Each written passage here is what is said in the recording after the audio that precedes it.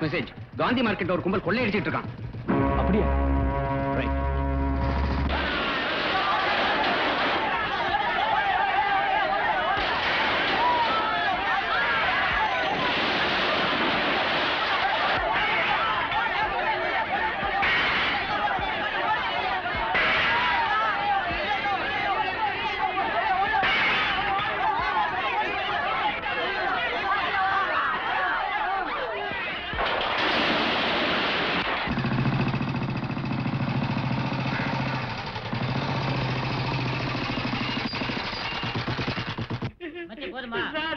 மூடு, பட்டி மூடு.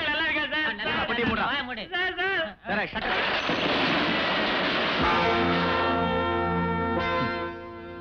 போலாமா?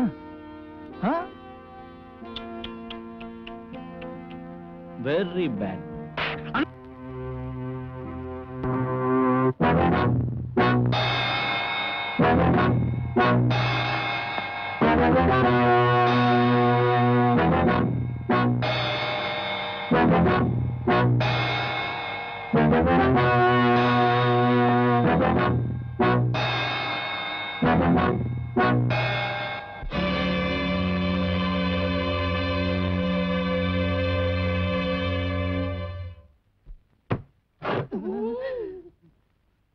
நைனா கோதண்டம் உட்காருங்க அண்ணாத்த.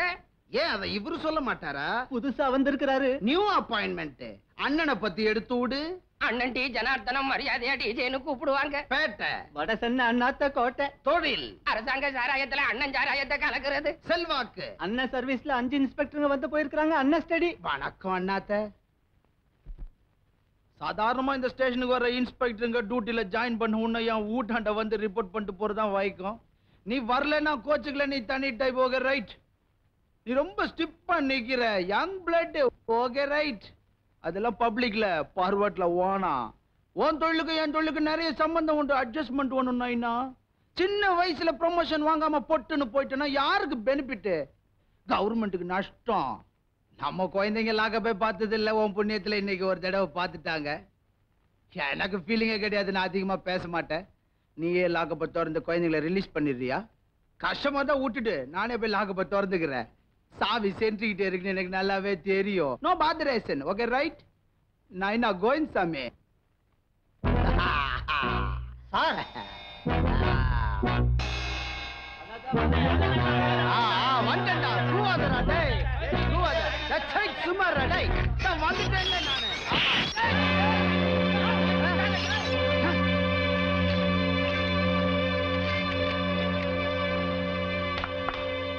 புது நைனா கையில லாத்தி உடம்புல காக்கி இடுப்புல துப்பாக்கி உதவிக்கு காக்கி சட்டை கூட்டம் இது உன் கோட்டை. இதெல்லாம் இல்லாம நம்ம பேட்டையில சிங்கிளா வந்து என்ன மீட் பண்ணா நீ ஆம்பளை உனக்கு நான் surrender okay right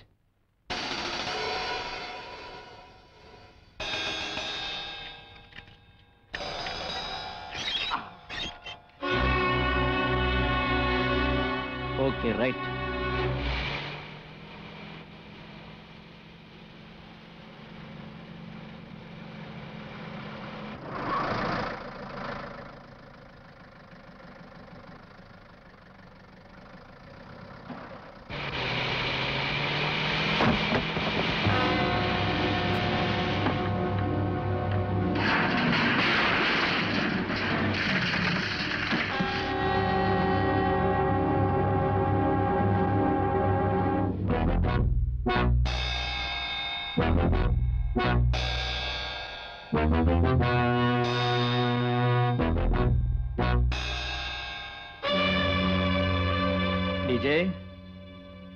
கையில லாட்டி இல்ல இடுப்புல துப்பாக்கி இல்ல உடம்புல காக்கி இல்ல உதவிக்கு காக்கி சட்ட கூட்டம் இல்ல.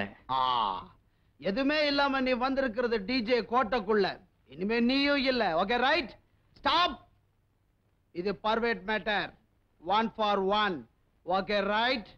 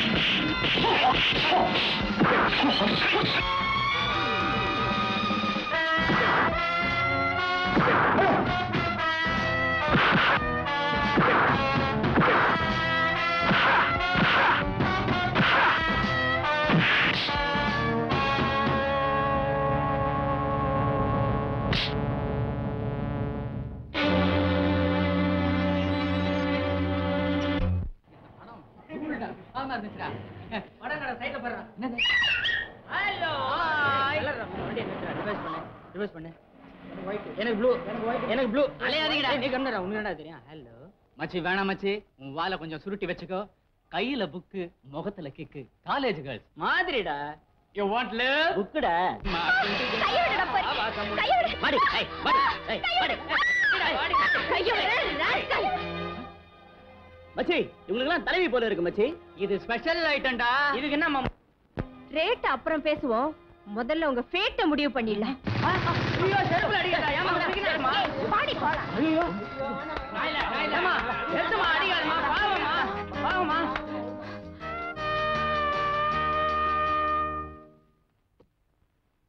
பேர் என்ன?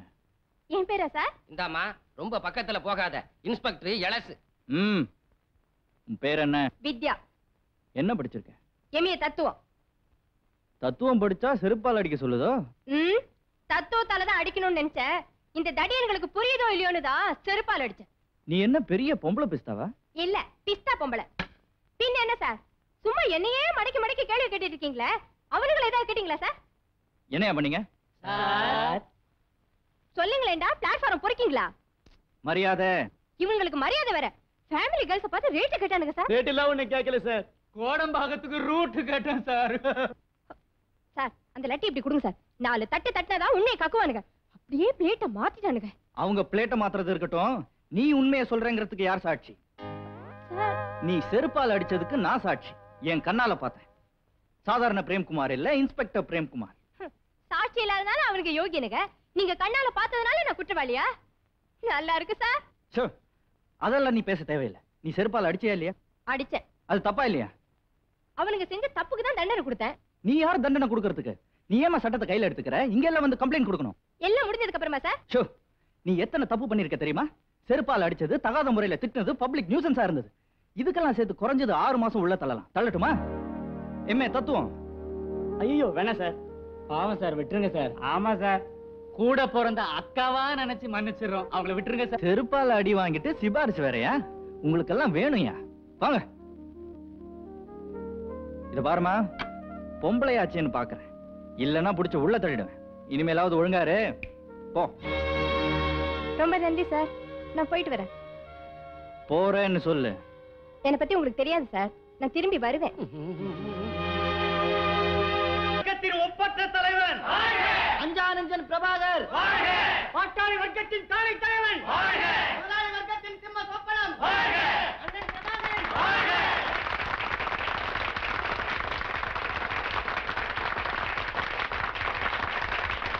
தொழிலாளர் நல அமைச்சர். வணக்கம். சாதாரணமாக தொழிற்சங்க தலைவர்கள் எல்லாம் ஆரம்ப காலத்திலே கால்நடையாக வருவார்கள். பிறகு சைக்கிள் ஸ்கூட்டர் கார் இப்படி படிப்படியாக உயர்ந்து சின்ன வீடும் பெரிய வீடுமாக தங்களுடைய வாழ்க்கை வசதிகளை பெருக்கிக் கொள்வார்கள். ஆனால் பிரபாகரன் மட்டும் அதற்கு விதிவிலக்காகவே இருக்கிறார். ஆரம்ப காலத்திலே நான் சந்தித்த அதே பிரபாகரனைத்தான் இப்போதும் பார்க்கிறேன். இன்னும் அவர் எளிமையான வாழ்க்கை வாழ்ந்து கொண்டிருக்கிறார். அது பாராட்டப்பட வேண்டிய விஷயம். பிரபாகரனின் முப்பத்தி மூன்றாவது பிறந்த நாளான இன்று உங்கள் அன்பின் காணிக்கையான இந்த ஏழு லட்சம் ரூபாய்க்கான காசோலையை நான் அவரிடம் வழங்குவதில் மிகவும் பெருமைப்படுகிறேன்.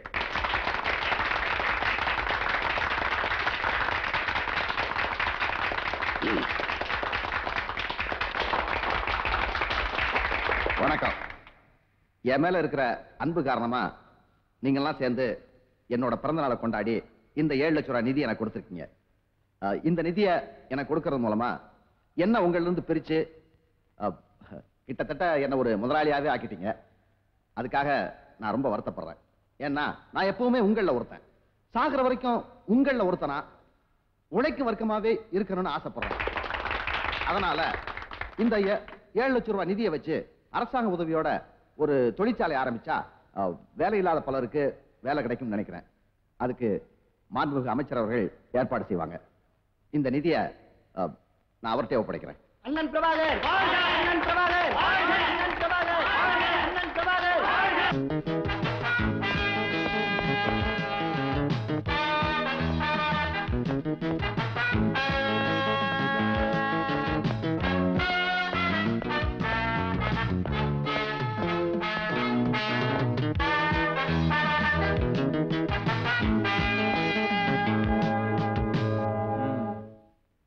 நீ என்ன கொள்ளக்காரி பூலாந்தேவியா? வார்த்தைகளை பார்த்து பேசுங்க இன்ஸ்பெக்டர் சார். வாபஸ் வாங்குறது உங்க தகுதிக்கு நல்லா இருக்காது.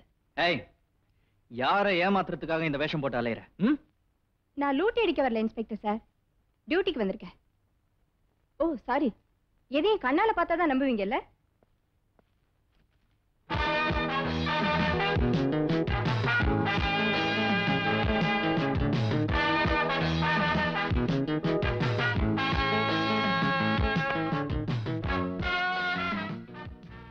Welcome constable yes sir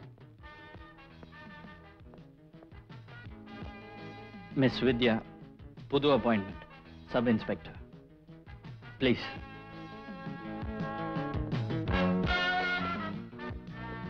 sir lockup எங்க இருக்குன்னு தெரிஞ்சுக்கலாமா? வை கம்பி என்றதுக்கு.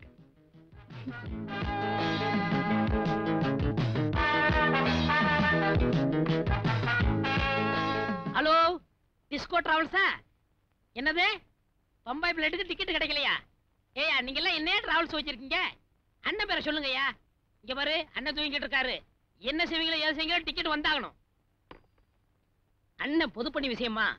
ராத்திரி பூரா அலைஞ்சு பார்ட்டிகளுக்கு பதில் சொல்லிட்டு அசதியா படுத்து கிடக்காரு. பரவாயில்ல பரவாயில்ல மெதுவா வரட்டும். தூங்கட்டும் தூங்கட்டும். தயவு செய்து எழுப்பிடாதீங்க. இருங்க வந்துடுறேன்.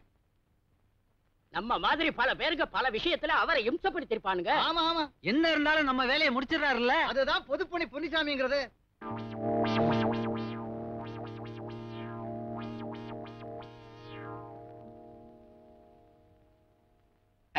வணக்கம் வணக்கம் உட்காருங்க உட்காருங்க உட்காருங்க.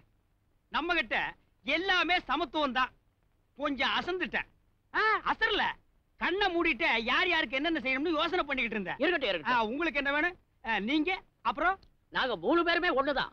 பலமரத்துப்பட்டியில ஒரு சினிமா கொட்டையை ஆரம்பிச்சிருக்கோம். அதுக்கு லைசென்ஸ் கிடைக்கலங்க. நாங்களும் எங்கெங்கேயோ அலைஞ்சு பார்த்துட்டோம். என்னது? லைசென்ஸ் கிடைக்கலையா? யாரா கலெக்டர் அதானே அந்த டெல்லி என்ட்ரிக்காக உங்கள்ட்ட சிபாரிசு லெட்டர் வாங்கிட்டு போனாரே. யார் அது? ஓ துர சண்முகம் சிவிலேஷன். அவரே தான். இப்போ அவர் கலெக்டரா? உங்கள்ட்ட லெட்டர் வாங்கிட்டு போனவங்க எல்லாம் யார் யாரை எப்படி எப்படி இருக்காங்க நம்ம தான் அப்படியே இருக்கோம். அரசே விடாத நமக்கு எப்பவுமே பொது பணிதான். இவர் கலெக்டர் ஆகிட்டா யாருமே டூரிங் டாக்ஸ் நடத்தக்கூடாதாமா அப்படி தாங்க சொல்றாரு. என்னமோ இந்தியாவியா இவர்கிட்ட கொடுத்து ஆள சொன்ன மாதிரி பேசிட்டு இருக்காரு. இப்ப என்ன சொல்றாரு? லைசென்ஸ் தர போறாரா இல்லையா? கொடுக்கவே முடியாதுன்னு சொல்றாரு. கொடுக்கவே முடியாதா? எடியா அந்த ஃபார்ம் இந்தாங்க. ஏன் துண்டம் முறுக்குற? லைசென்ஸ் கிடைக்கலன்னா தூக்கு போட்டுக்கலாம்னா? அடச்சே நான் வாங்கி தரேன்யா. லைசென்ஸ் தர மாட்டானா? சொன்ன உடனே புறப்பட்டாரு பாத்தீங்களா? ஆமா. ஆமா.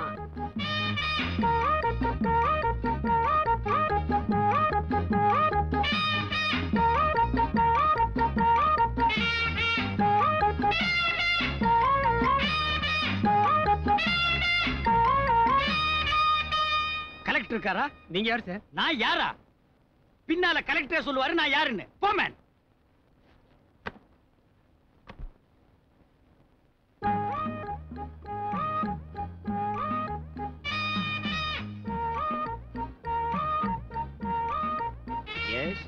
ஐயா. ஐயா. நீங்க இந்த சினிமா தியேட்டருக்கு லைசென்ஸ் கொடுக்கலன்னா நாற்பது குடும்பம் தெருவுல நிக்கி அந்த பாவம் உங்களை சும்மா விடாது. யோ விடியா கால. நான் விட மாட்டேன் யோ உன்னை சுட்டுடுவேன். நீங்க சுட்டாலும் சரி உங்க காலை நான் விட மாட்டேன் உங்க காலில் தான் என் பணம் தொங்கும். நான்சென்ஸ். விடியா கால. நாற்பது குடும்பத்துக்கு நானூறு குழந்தைங்க. உங்க கையெழுத்துல தான் அதுக்கு வாழ்க்கையே அடங்கி இருக்கு இப்ப காலை விட போறியா இல்லையா? நான் காலை விட மாட்டேன் கையெழுத்து போட்டா தான் விடுவேன். உன்னோட பெரிய நியூசன்ஸா போச்சு. எங்கயா பேப்பர் இது இருக்கு. ஐயா இன்னைக்கு காரியத்தை முடிச்சிருவாரா? புடிச்சா விட மாட்டாருயா காரியத்தை முடிச்சிட்டு தான் வருவாரு. இந்த லைசன்ஸ் கையெழுத்து போட மாட்டாரா? யாருகிட்ட? கேட்கிறபடி கேட்கணுயா அந்த ஆள் நகர முடிச்சுதா ஒரு அடி எடுத்து வைக்க முடிச்சுதா போங்கயா போங்கயா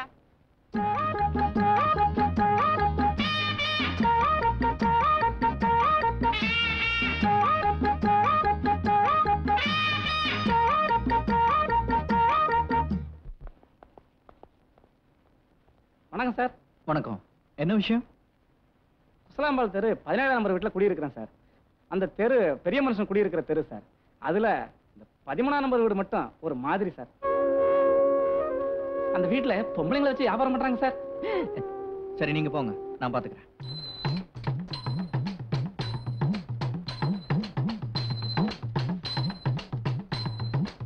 ஏய் யாரோ ஒரு காவி சட்டை.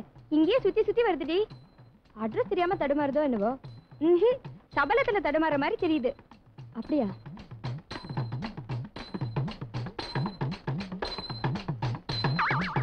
ஹை, கத்த கத்தியா நோட்டு வச்சிருக்கு? சிக்னல் கொடுப்போமா? ம்.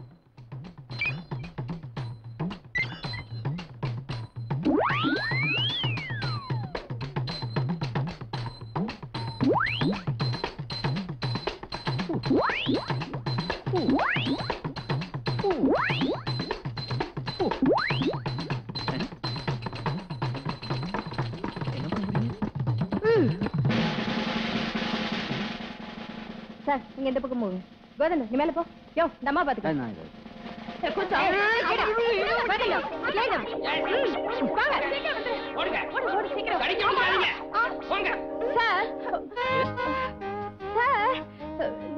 நீங்க சொன்னபடியே வீட்டை ரவுண்ட் பண்ணியாச்சு சார். கீழே எல்லாரையும் அரெஸ்ட் பண்ணியாச்சு sir. Very good very good நல்ல வேளை இப்போ வந்தீங்க. கொஞ்சம் லேட்டா இருந்ததுன்னா இவங்க எல்லாம் என்ன ரவுண்ட் அப் பண்ணி ஓ ஷல் மூவ் சார் நீங்க ஜட்டி எந்த ஜட்டி? ஸ்டேஷனுக்கு. எப்படி வா சார் எப்படியாவா ம- ம- மை ஜட்டி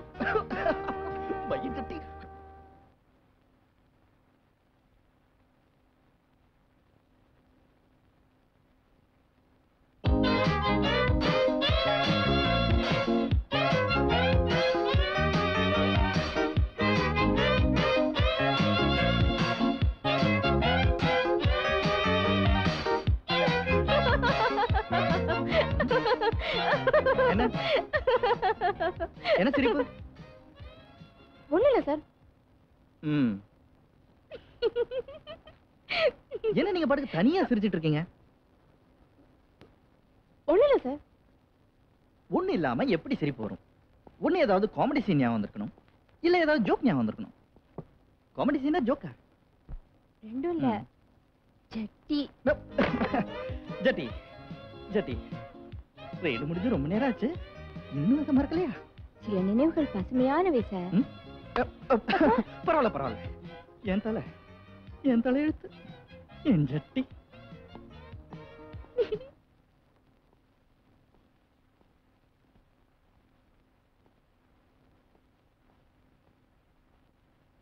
Good morning sir good morning Prem Kumar police inspector yes sir yes sir sir நான் உங்க டாக்டர் வேலை செய்யற அதே ஸ்டேஷன்ல தான் இன்ஸ்பெக்டரா இருக்கேன். வாங்க உட்காருங்க. பரவாயில்ல சார்.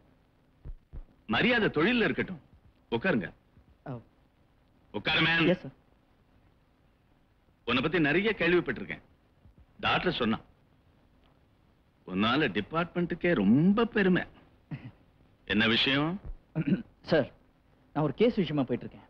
சாயந்தரம் ஒரு பந்தோபஸ்து ஏற்பாடு பண்ணணும். அதான் வித்யா கிட்ட பேச வேண்டியது வித்யா கிட்ட தான் பேசணும். மேலதான் இருக்கா? போய் பாரு. சார் நான் no problem come on thank you sir thank you very much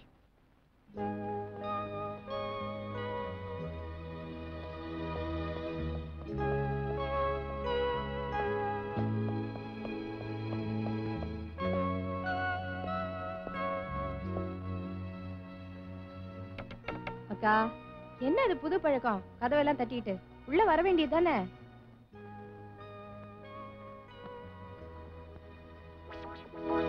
அக்கா இந்த பிராவை கொஞ்சம் மாட்டி விட. Sorry sorry good morning sorry ஒன்றும் இல்லை இன்னைக்கு சாயந்தரம் மியூசிக் அகாடமியில் பிரா போட்டு விடுற விஷயமா? ஓ வந்து ரொம்ப நேரம் ஆச்சா? இல்ல இப்பதான். ஓகே அப்பவே வந்துட்டேன். அப்பவே வா என்ன விஷயம்? ஒன்றும் இல்லை இன்னைக்கு சாயந்தரம் மியூசிக் அகாடமியில் இளையராஜா கச்சேரி. நிறைய விஐபிஸ் எல்லாம் வராங்க நிறைய பிரா தேவைப்படும். பந்தோபஸ்து தேவைப்படும். கொஞ்சம் பார்த்துங்க இது ஸ்டேஷன்லயே சொல்லியிருந்த போதுமே. சொல்லியிருக்கலாம். கேஸ் விஷயமா போயிட்டு இருந்தேன் அதான் வழியிலேயே. விஐபி விவகாரம் ராசி இல்லைன்னா டிபார்ட்மெண்ட்டுக்கே கெட்ட பேரு. பந்தோபஸ்து தெரியலன்னா டிபார்ட்மெண்ட்டுக்கே கெட்ட பேரு. கொஞ்சம் பார்த்துக்குங்க. நான் வரேங்க. இன்னொரு விஷயம் உங்க அப்பாக்கு என் மேல ரொம்ப நல்ல அபிப்பிராயம். அதையும் பார்த்துக்குங்க.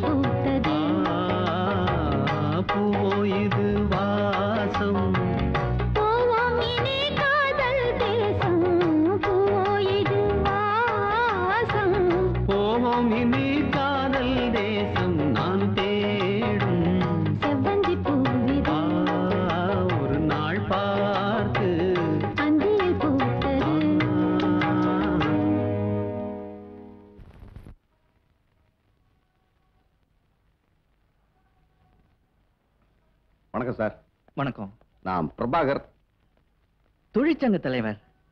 ஓ உங்களை பத்தி நிறைய கேள்விப்பட்டிருக்கேன். ஆனா சந்திக்கிறது இதுதான் முதல் தடவை. சந்தோஷம். உட்காருங்க ப்ளீஸ் இவர் தொழிற்சங்க செயலாளர் மோகன். ஹலோ சார் நீங்க ஒருத்தர் தான் போலீஸ்காரங்களுக்கு வேலை கொடுக்காத தொழிற்சங்க தலைவர். என்ன இன்னைக்கு இந்த பக்கம் காத்தடிச்சிருக்கு? ரொம்ப நாளா உங்களுக்கு வேலை கொடுக்க முடியலங்கிறது ஒரு குறையாவே இருந்துட்டு இருந்தது. அதான் இன்னைக்கு வந்திருக்கேன். ஏதாவது கலாட்டாவா? எதிர்பார்க்கிறோம்.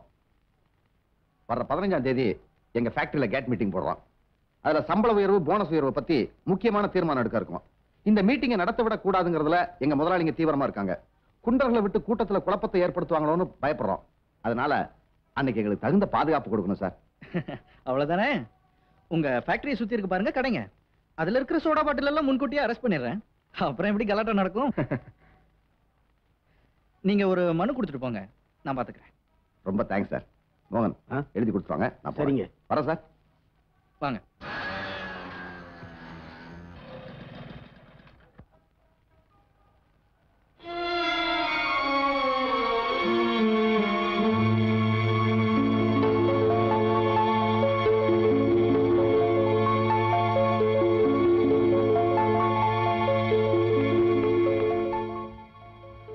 ஹலோ.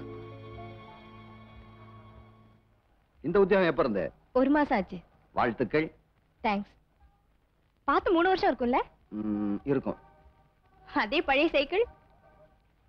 அதே பழைய பிரபாகர். கல்யாணம் காட்சி குழந்தை குட்டிகள். நிறுத்து நிறுத்து. அதுக்கெல்லாம் தான் எனக்கு அதிர்ஷ்டம் இல்லையே. தெரியாத மாதிரி கேக்குற? கிருஷ்ணா எப்படி இருக்கா? இருக்கா. உங்களை பார்த்த கண்ணால வேற யாரையுமே பார்க்க மாட்டேன்னு பிடிவாதமா இருக்கா? நான் வரேன்.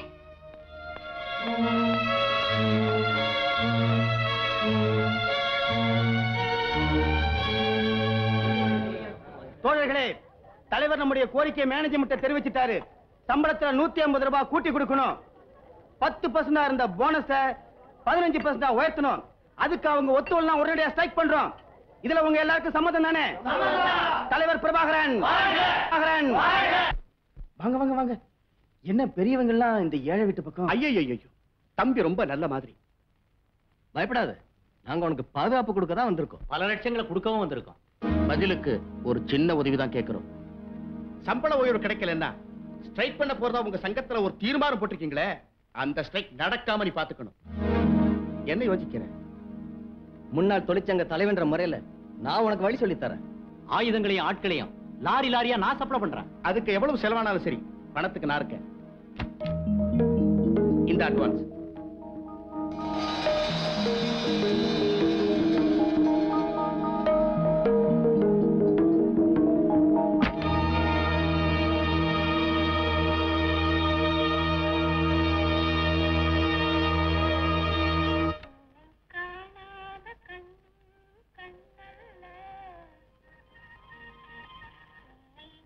அக்கா. வந்துட்டியாமா அக்கா உனக்கு பிடிச்ச நியூஸ் கொண்டு வந்திருக்கேனே. என்ன? இன்னைக்கு நான் அவரை சந்திச்சேன். யார? உன் பிரபாகர. நிஜமாவா? ம் ஸ்டேஷனுக்கு வந்திருந்தாரு. எப்படி இருக்காரு? அப்படியே தான் இருக்காரு. கொஞ்சம் கூட மாறல. கல்யாணம் ஆயிடுச்சான்னு கேட்டா அதுக்கு தான் எனக்கு அதிர்ஷ்டம் இல்லையேன்னு நொந்துக்கிறாரு. பாவம். உன்னை பத்தி ரொம்ப விசாரிச்சாருக்கா? வேற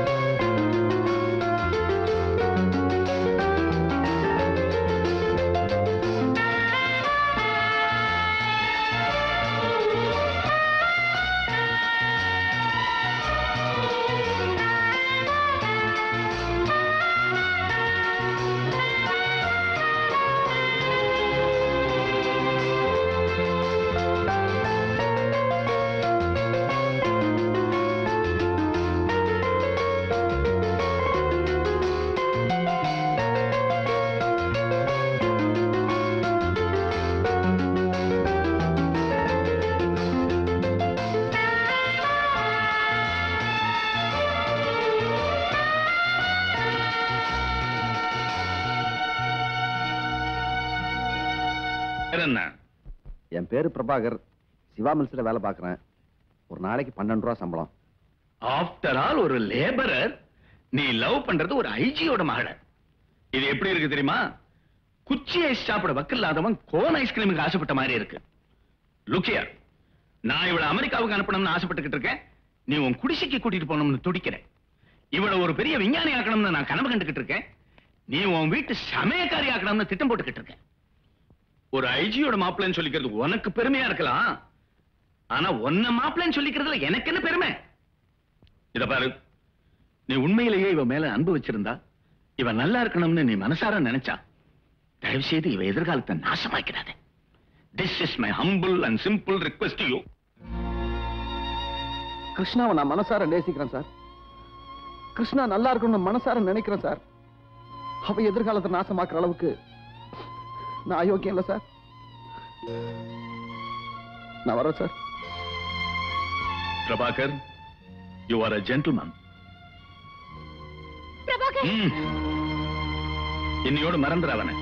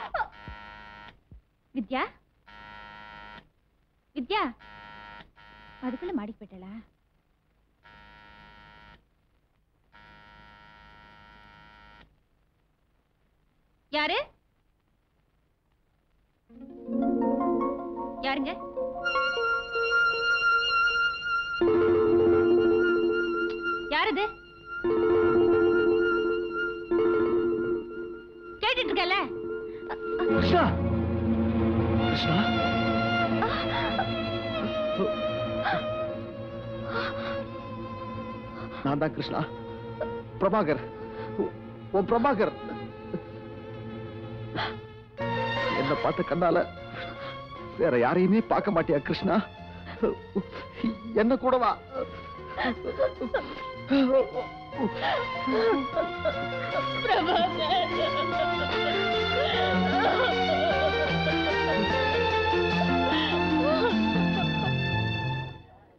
தலைவர் பிரபாகரன் கல்யாணம் பண்ணிக்க போறாரு.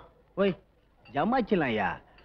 ஆனா கல்யாணம் பண்ணிக்கிட்டா தலைவர் கஷ்டப்படுவார் போல தோணுது. என்ன தலைவா சொல்ற? ஒண்ணுமில்லப்பா.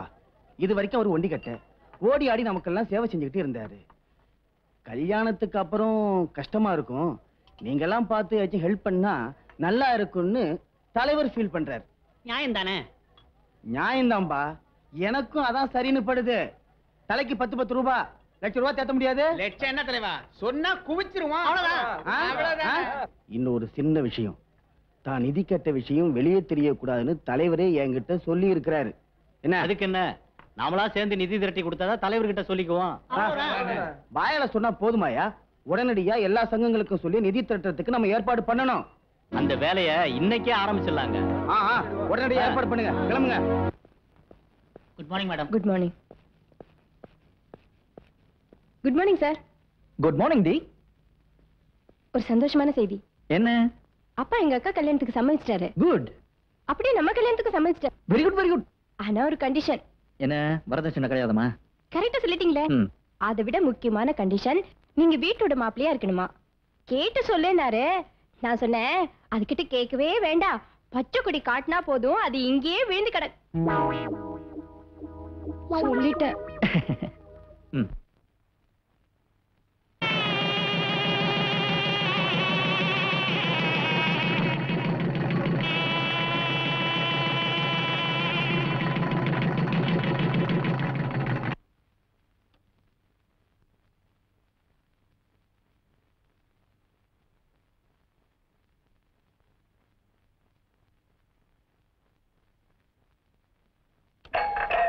ஒன்பது மணி முப்பது நிமிடம். வாழ்க்கையை இன்பமயமாக்க நிரோது உபயோகியுங்கள்.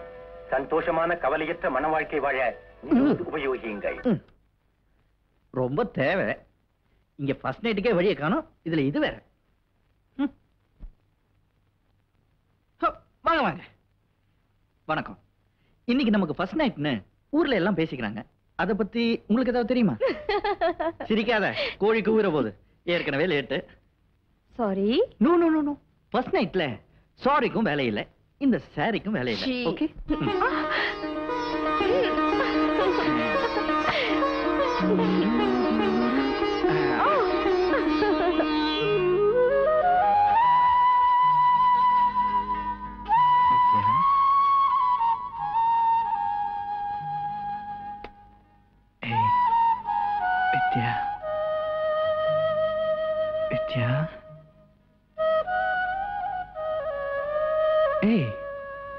சைலண்டா இருக்க. என் பேர் மறந்து போச்சா? எனக்கு என்ன பேசுறதுன்னே தெரியலங்க. ம் ஃபர்ஸ்ட் நைட்னா அப்படிதான். பேச்சா வரும். லூஸ் ஏய் லைட் ஆஃப் பண்ணிட்டா.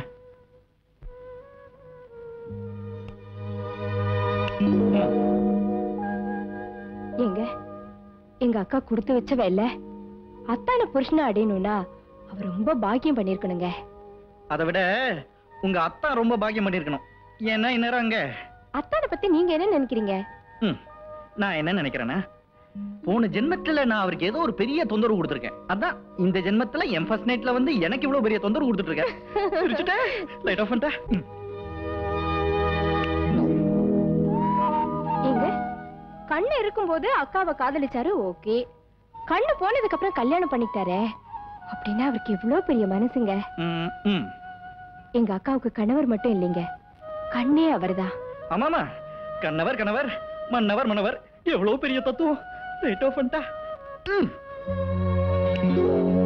எனக்கு என்ன தோணுதுன்னா எங்க அத்தா சாதாரண மனுஷன் இல்லைங்க.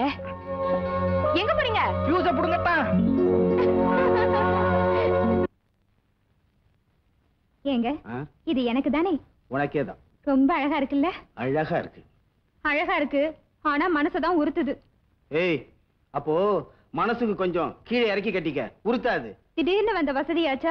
அதான் திக்கு திக்குங்குது. திக்கெல்லாம் போய் தண்டரா போடு. பொடி பைத்தியக்காரி. நகை சுத்தமானு பாரு. கை சுத்தமானு பார்க்காத. வசதிங்கிற வார்த்தையிலே சதி இருக்குடி. சதி பண்ணாதான் வசதியாவே வாழ முடியும். நாளைக்கு இந்த விஷயம் வெளியே தெரிஞ்சுட்டா? கொஞ்ச நாள் உள்ள இருக்க போறேன்.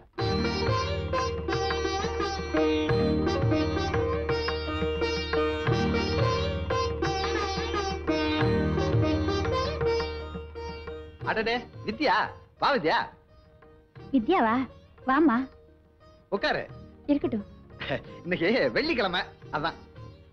என்ன தேய்ச்சி குளிக்கிறேன்னா உங்க அக்காவுக்கு தலை வெடிச்சிடும் இவ்வளவு குளிப்பாடுறதுக்குள்ள போதும் போதும் ஆயிடு தெரியுமா?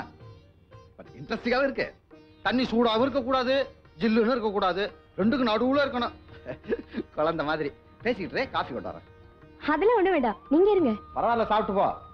வெறும் காஃபி தான் இன்னைக்கு பலகாரம் பண்ணல. ஏன்னா உங்க அக்கா விரதம் அதான்.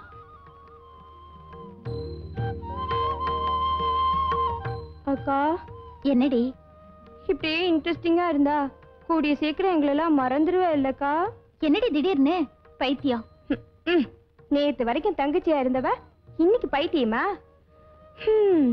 பொண்ண சொல்லி குத்தம் இல்லம்மா உள்ள ஒருத்தர் காஃபி போட்டுட்டு இருக்காரே அவரை சொல்லணும். இந்த பர்மிட்டை மட்டும் நீங்க வாங்கி கொடுத்துட்டீங்கன்னா ஒன்றரை கோடி ரூபாய் லோனு மூணு பேமெண்ட்ல எங்களுக்கு கிடைச்சிருங்க நம்ம ஃபேக்டரி சும்மா தட தடன்னு காதுக்கு இனிமையா ஓடிக்கிட்டு இருக்குங்க. தட தடன்னு ஓடினா காதுக்கு எப்படிங்க இனிமையா இருக்கும்? ரொம்ப ஜோக் அடிக்கிறீங்க. ஜோக்கு நானு? லாபத்துல ரெண்டு பர்சன்ட் உங்களுக்கு. ரெண்டு பர்சன்ட் எவ்வளவுங்க? மாசம் ஒரு ஆறாயிரம் ரூபாய் கிடைக்குங்க. பரிமிட்டை பத்தி கவலை இல்ல. அது எவ்வளவு வேணாலும் வாங்கி கொடுத்துருவேன். இருந்தாலும் தொழில் நடத்துறதுல நமக்குன்னு ஒரு பேர் இருக்கணும்ல உங்க பேரை சொல்லி ஒரு நானூறு தொழிலாளிங்க குடும்பம் பொழைக்குங்க. ஆ பொழைக்கும் பொழைக்கும். ஆ டே மம்முட்டி அந்த போன டே ஏங்க நீங்களே பேசிடலாமே பையனுக்கு கூப்பிடுறீங்க? வேணாங்க யாராவது கூப்பிடுவாங்க அன்பு தொல்லை எப்பவுமே அன்புக்கு நான் அடிமை. ஹலோ யார் பேசுறது? பொதுப்பணி பொன்னுசாமி இருக்காருங்களா? ஆ இருக்காரு. என்ன விஷயம் சொல்லுங்க? போன் அவர்கிட்ட கொடுங்க அவர்கிட்ட தான் சொல்ல முடியும். யாரா பேசுறது? யாரோ ஒரு பொண்ணு பேசுது. ரொம்ப அந்தரங்கமான விஷயமா? அந்தரங்கத்துக்கு இந்த பொதுப்பணி தான் ம் கொண்டா. ஹலோ யாரும்மா பேசுறது? நான் தான்டா பொறுக்கி போயல. பொம்பளை குரணுன்னு போன வாங்கிட்டியா? செக்க கொடுத்து ஏமாத்திட்டியாடா அண்டங்காக்கா. என்னடா இடிக்கிற செக்காடா கொடுத்தா செக்கு. அதெல்லாம் நம்ம அப்புறம் பேசிக்கலாம். போன வைங்க. போன நாயாண்டா விக்கணும் ராஸ்கல். என் பணத்தை விடா. மந்திரிகளை எல்லாம் நம்ம இப்ப பார்க்க முடியுமா? அதுக்குன்னு ஒரு டைம் வாங்கி தானே பார்க்க முடியும். மந்திரிய நாயாண்டா பார்க்கணும்? ரோசன் கிட்ட பயல. நீ எல்லாம் சோறு திங்கிறியா? இல்ல சாணி திங்கிறியா? அன்பு தொல்லை சாப்பிட வீட்டுக்கு கூப்பிடுறாங்க. ஏங்க தினம் ஒரு வீட்டுக்கு சாப்பிட போக முடியுமாங்க? நமக்குன்னு பொண்டாட்டி புள்ள இல்ல அவங்க என்ன நினைப்பாங்க. அண்ணனை பாத்தீங்களா சாப்பாட்டுக்குன்னு வேண்டியவங்க வீட்டுக்கு கூட போக முடியல பேசுங்க அண்ணே பேசுறேன் அம்மா நம்ம இன்னொரு நாளைக்கு சமையல் பண்ணி சாப்பிடுவோங்களே சாப்பாடா? நானே வந்து போடுறேன். அங்கேயே இரு. வாங்க வெளியில போய் பேசலாம். வெளியில வெயில் கொளுத்துதுங்க. வெளியில வேப்ப மரம் இருக்குங்க. காத்து நல்லா வரும். வாங்க. பரவாயில்லைங்க இங்கேயே பேசலாம். ஐயோ என் நிலைமை புரியாம பேசுறீங்களே. வெளியில போய் பேசலாம் ஐயா. வேண்டாண்ணே. சொன்னா கேளுங்க அண்ணே நீயுமா?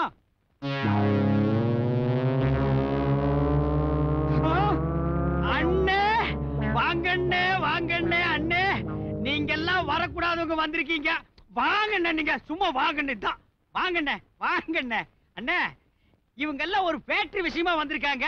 வாங்கண்ணே நீங்க அண்ணன் வாங்கண்ணே உள்ள வாங்கண்ணே. அண்ணே. இப்படி தாங்க அன்பு தொல்லை. இப்போ உங்க சாக்க வச்சு அவரை அனுப்பிட போறாரு பாருங்களேன்.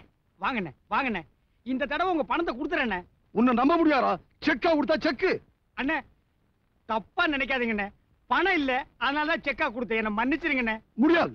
அண்ணே உங்க காலை பிடிச்சு கெஞ்சி கேக்குறேண்ணே. என்ன மன்னிச்சிருங்கண்ணே. நம்பலாமா? கண்டிப்பா நம்பலாம். இதுதான் உனக்கு கடைசி சந்தர்ப்பம். ஆஹா. எவ்வளவு பெரிய உடம்பு அதுல எவ்வளவு பெரிய மனசு. வாங்கண்ணே. அண்ணே வெளியில வரும்போது கொஞ்சம் சிரிச்சிட்டு வாங்கண்ணே. அப்பதானே பாத்துக்கு மேல நம்பிக்கை ஏற்படும். சிரிக்கணுமா? யோசிக்கிறேன். ஏசிங்க ஆளை விட்டுறாதீங்க. பாத்தீங்களா? பாச பிணைப்பு. அப்ப வாங்கண்ணே வெளியே போய் பேசுவோம். வேணாம் நம்ம இங்கேயே பேசலாம். இப்பதான் வேப்ப மர காத்து அது இதுன்னு சொன்னீங்க? காத்து போயிருச்சு. நீ கொஞ்சம் உள்ள வர்றியா? வந்துட்டா போச்சு. வா. வாடா. ஐயோ அம்மா ஐயோ. ஐயோ, ஐயோ. நான் பேசும்போது அந்த பொண்ணு தானே போயிடுச்சு? அப்புறம் எப்படி போன் வழியா முட்டையும் வந்தா? அவன் எப்படி வந்தான். ஏன் சோத்த என்னைய நீ காட்டி பேரு. அடிக்கிறீங்க? உங்களோட எவ்வளவு போய் பேசுறேன்? பேசுறேன். பேட் மார்னிங் இன்ஸ்பெக்டர் டிஜே ஜெயில இருந்து தப்பிச்சிட்டான். அப்படியா? நீங்க கொஞ்சம் கேர்ஃபுல்லா இருக்கணும். அவன் குறி உங்க மேல தான் இருக்கும். நோ ப்ராப்ளம் சார் சார் அவனோட ஹைட் அவுட்ஸ் எல்லாம் எனக்கு நல்லா தெரியும். எப்படி இருபத்தி நாலு மணி நேரத்துக்குள்ள அவனை அரெஸ்ட் பண்ணிடுறேன்?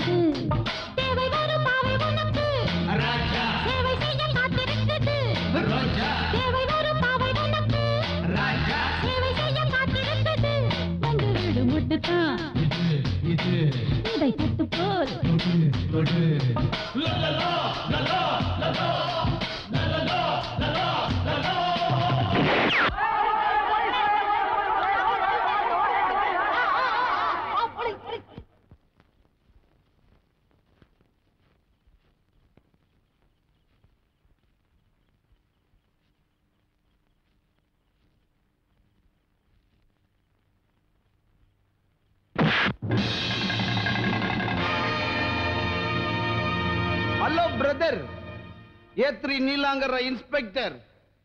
கடமை உணர்ச்சியோட என்ன ஜெயிலுக்கு அனுப்பிச்சியே. என்ன ஆச்சு பாத்தியா? நீ ஸ்டிப்பா இருக்கலாம்பா? ஆனா உன் ஜெயில் கம்பி ஸ்டிப்பா இல்லையே. இங்க அப்படி இல்ல. இது ஒன் வே உள்ள வந்துட்டா வெளியே போக முடியாது. Okay right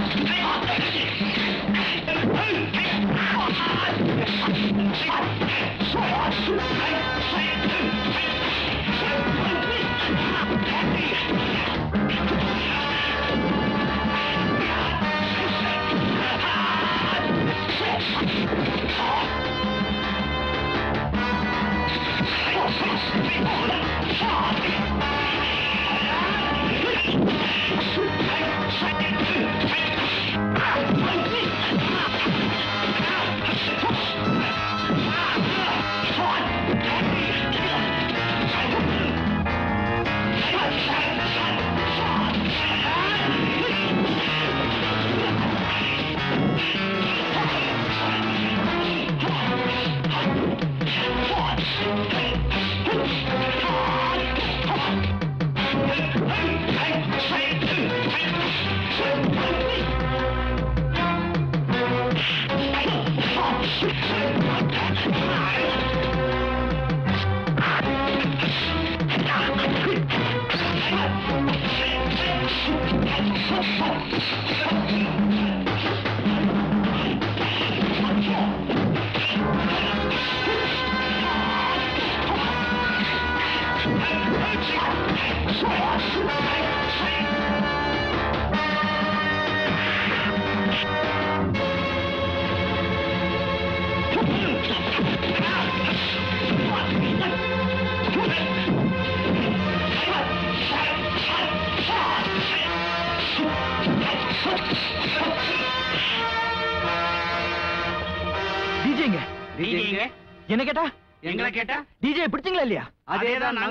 DJ பிடிச்சிங்களா இல்லையா? உங்களை ஓ பிடிக்கணுமா? என்ன தலைவரை காணோம்? வர நேரமாச்சு. என்ன என்ன? வாங்க வாங்க. வணக்கம் வணக்கம் வணக்கம், வணக்கம். என்ன தலைவரே? ஏழு மணிக்கு கூட்டம் போட்டு எட்டு மணிக்கு வரீங்களே. வழக்கம் போல சைக்கிள் மக்கர் பண்ணிருச்சு. இன்னும் எத்தனை நாளைக்கு தான் தலைவரே இந்த ஓட்டர் சைக்கிள் சவாரி? சும்மா சல்லுன்னு ஸ்கூட்டர்ல வந்து இறங்க வேண்டாமா? ஸ்கூட்டரா அதுக்கெல்லாம் ஒரு வசதி வரட்டும். இதுக்குன்னு தனியா வசதி வேணுமா? நிதியில இருந்து ஒரு நாலாயிரம் ரூபாய் ஒதுக்கினா செகண்ட் ஹேண்ட்ல ஒரு ஸ்கூட்டர் வாங்கிடலாம் இல்ல நிதியா? என்னங்க? நீங்க கொடுத்ததான் மினிஸ்டர்கிட்ட கொடுத்துட்டானே? அதான் எல்லாருக்குமே தெரியுமே தலைவரே. இது உங்க கல்யாணத்துக்காக நாங்க கொடுக்கல லட்ச ரூபாய் அந்த நிதி தலைவரே. லட்சம் ரூபாய் எங்கிட்ட கொடுத்தீங்க? நேரடியா உங்ககிட்ட கொடுக்கல. மோகன் கிட்ட கொடுத்து உங்ககிட்ட கொடுக்க சொன்னோமே. நீங்க சொல்றத பார்த்தா பணம் உங்க கைக்கு வரல போல் இருக்கு. என்னையா புதுசு புதுசா என்னமோ கதை சொல்றீங்க? இதுல பொய் சொல்றதுக்கு என்ன இருக்கு தலைவரே? சத்தியமா பணம் கொடுத்துருக்கோம். எது கொடுத்தீங்க? என்ன பத்தி தெரியல. நல்லா தெரியும். ஆனா நீங்க கேட்டதெல்லாம் மோகன் சொன்னா சொன்னானா? ஏப்பா இவ்வளவு பெரிய காரியம் பண்ணிருக்கீங்க? என்கிட்ட ஒரு வார்த்தை கேட்டுக்க எப்படி தலைவரே? உங்க பேரை சொன்னதுக்கு அப்புறமும் உங்ககிட்ட வந்து நாங்க கேட்போமா?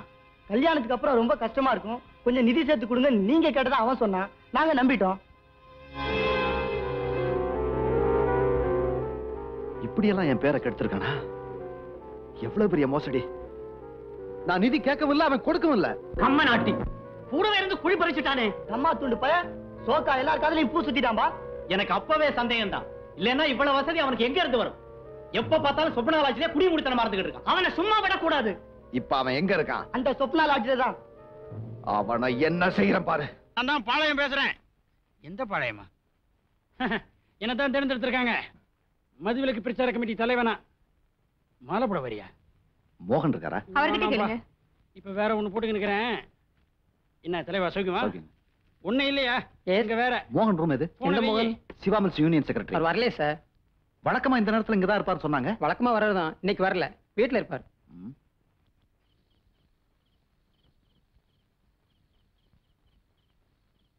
வணக்கங்க. வணக்கம். உங்களை பார்க்கலாம்னு தான் யூனியன் ஆபீஸ்க்கு போயிருந்தோம். நீங்க வெளியே போயிட்டதா சொன்னாங்க. நாளைக்கு பார்க்கலாம்னு இருந்தோம். நல்ல வேளை இன்னைக்கே பார்த்துட்டோம். அப்படியா? என்ன விஷயம்? நாங்க பெங்களூர் மகாராஜா இண்டஸ்ட்ரீஸ்ல வேலை பார்க்கறவங்க. தோ ஃபேக்டரி மூணு வருஷத்துக்கு முன்னாடி தான் ஆரம்பிச்சது. குறுகிய காலத்துல நல்ல வளர்ச்சிங்க. ஏகப்பட்ட லாபம். சம்பள உயர்வை கேட்டு ஸ்ட்ரைக் பண்றான். முதலாளி தொழிற்சாலையை இழுத்து மூடிட்டாருங்க. கதவடைச்சு மூணு மாசம் ஆச்சுங்க. இப்ப நானூறு குடும்பமும் நடுத்தெருவுல நிக்குதுங்க. ஆமா உங்க யூனியன் என்ன பண்ணுது? தொழிற்சங்க தலைவர். முதலாளிக்கு கைக்கூலியா மாறிட்டாருங்க. அப்படியா? எத்தனை ரூம் புக்கா இருக்கு பன்னிரெண்டு ரூம் மேடம் யார் யார் தங்கியிருக்காங்க? கெஸ்டிங் மேடம் தனியாவா? ஜோடியாவா? நான் ஃபேமிலிங்க மேடம் நான் கூந்தல்ல தான் பூ வச்சுக்கிறது. காதுல இல்ல.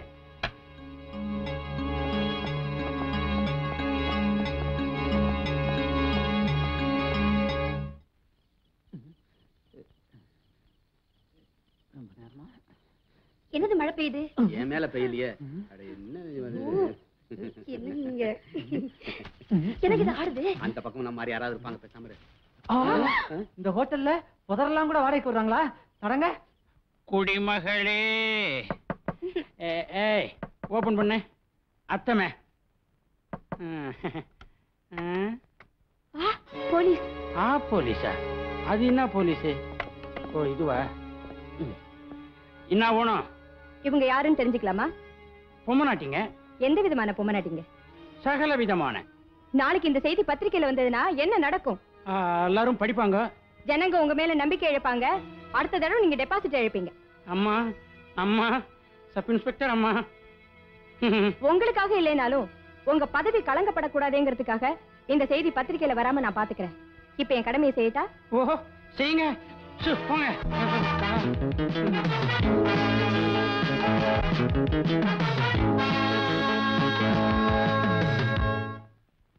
சார் உங்க நிலைமை எனக்கு புரியுது. அதுக்காக இந்த பஸ் ஸ்டாப்ல இருந்து உங்க பிரச்சனை பேசி தீர்த்த முடியுமா? நான் நாளைக்கு வாங்கன்னு சொல்றேன்ல. பஸ் நான் சொல்றதை கேளுங்க எங்க பிரச்சனைய நீங்க தான் சார் தீர்க்க முடியும். நைட்டு பத்து மணி வரையிலும் பஸ் இருக்கு சார். ஏன் இப்படி சொல்ல சொல்ல புரிஞ்சுக்காம என்ன தொந்தரவு பண்றீங்க? உங்களால நாலாவது பஸ் கோட்டை விட்டல நாங்க ரொம்ப பதட்டத்தில் இருக்கிறோம். அடுத்த வாரம் எங்க முதலாளி அமெரிக்கா போறாரு. போனா திரும்பி வர மூணு மாசம் ஆகுங்க. அதனால? தொந்தரவு கொடுத்ததுக்கு மன்னிக்கணும். நாளைக்கு உங்களை ஃபேக்டரியில வந்து பார்க்கறோம் வரேங்க நாங்க வரேங்க என்ன இங்க நின்னுட்டு இருக்கீங்க? எந்த நேரத்துல? அவசரமா என் செக்ரட்டரி மோகனை பார்க்கணும். சைக்கிள் பஞ்சர் ஆயிருச்சு. பஸ்ஸை பிடிக்கலான்னு வந்தா அந்த போறாங்களே இவங்க ஒரு மணி நேரம் பேசி நாலு பஸ் மிஸ் பண்ண வச்சுட்டாங்க. யாரு உங்க பெங்களூர் மகாராஜா இண்டஸ்ட்ரியில வேலை பார்க்கறாங்களாம். ஃபேக்டரி கதை வடப்பான் நீங்க தான் வந்து பிரச்சனையை தீர்த்து வைக்கணும்னு சொல்றாங்க. சரி போங்க வர்றேன்னு சொன்னாலும் கேட்க மாட்டேன்றாங்க. பாவம் அவங்க நிலைமை அப்படி. இப்ப நீங்க எங்க போகணும்? அண்ணா நகர். வாங்க போலாம்.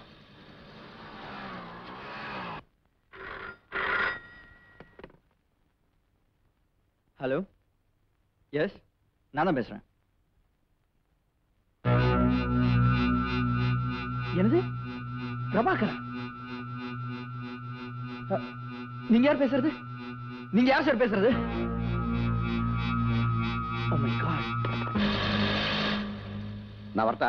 நீங்க பேசிட்டு வாங்க நான் வேணா வெயிட் பண்றேன். இல்ல எவ்வளவு நேரம் ஆகும் சொல்ல முடியாது. நீ பரப்படு இப்பவே மணி ஒன்பது ஐம்பத்தஞ்சு. இனிமே நீங்க பேசிட்டு எப்படி வண்டி பிடிச்சு எப்ப வீடு போய் சேர போறீங்க? என்னை பத்தி கவலைப்படாத. உனக்கு டைம் ஆயிடுச்சு பரப்படு okay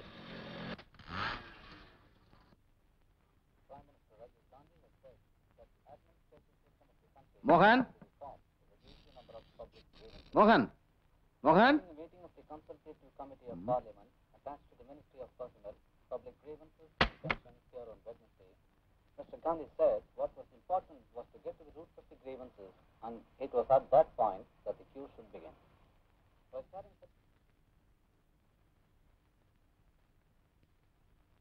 Mohan?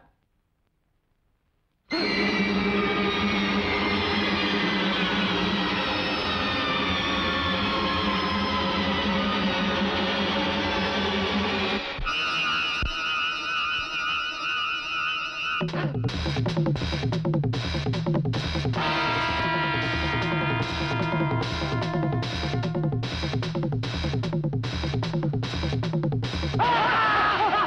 oh, oh, oh,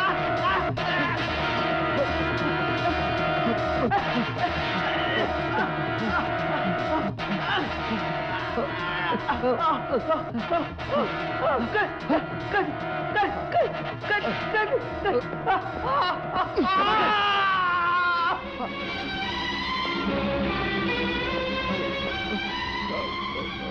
கத்திய கொடு.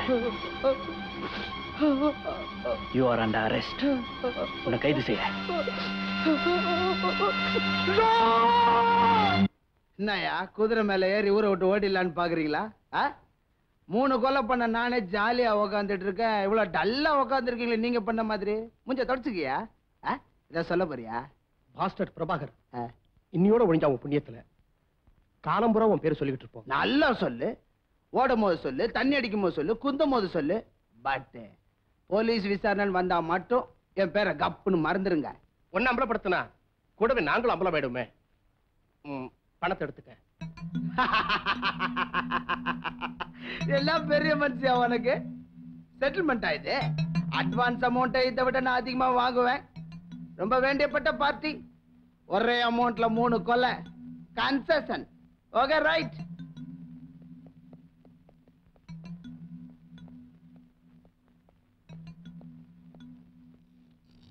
ஏய் பெங்களூர் மகாராஜா இண்டஸ்ட்ரீஸ். இந்த கேஸ்ல முக்கியமான சாட்சியம். ஆ இன்னைக்கே நீங்க பாம்பே போறீங்க. கேஸ் முடிஞ்சு பிரபாகருக்கு தண்டனை உறுதியாகிற வரைக்கும் மெட்ராஸ் பக்கம் தலை வச்சு கூட படுக்க கூடாது ஓகே? சரிங்க சரிங்க.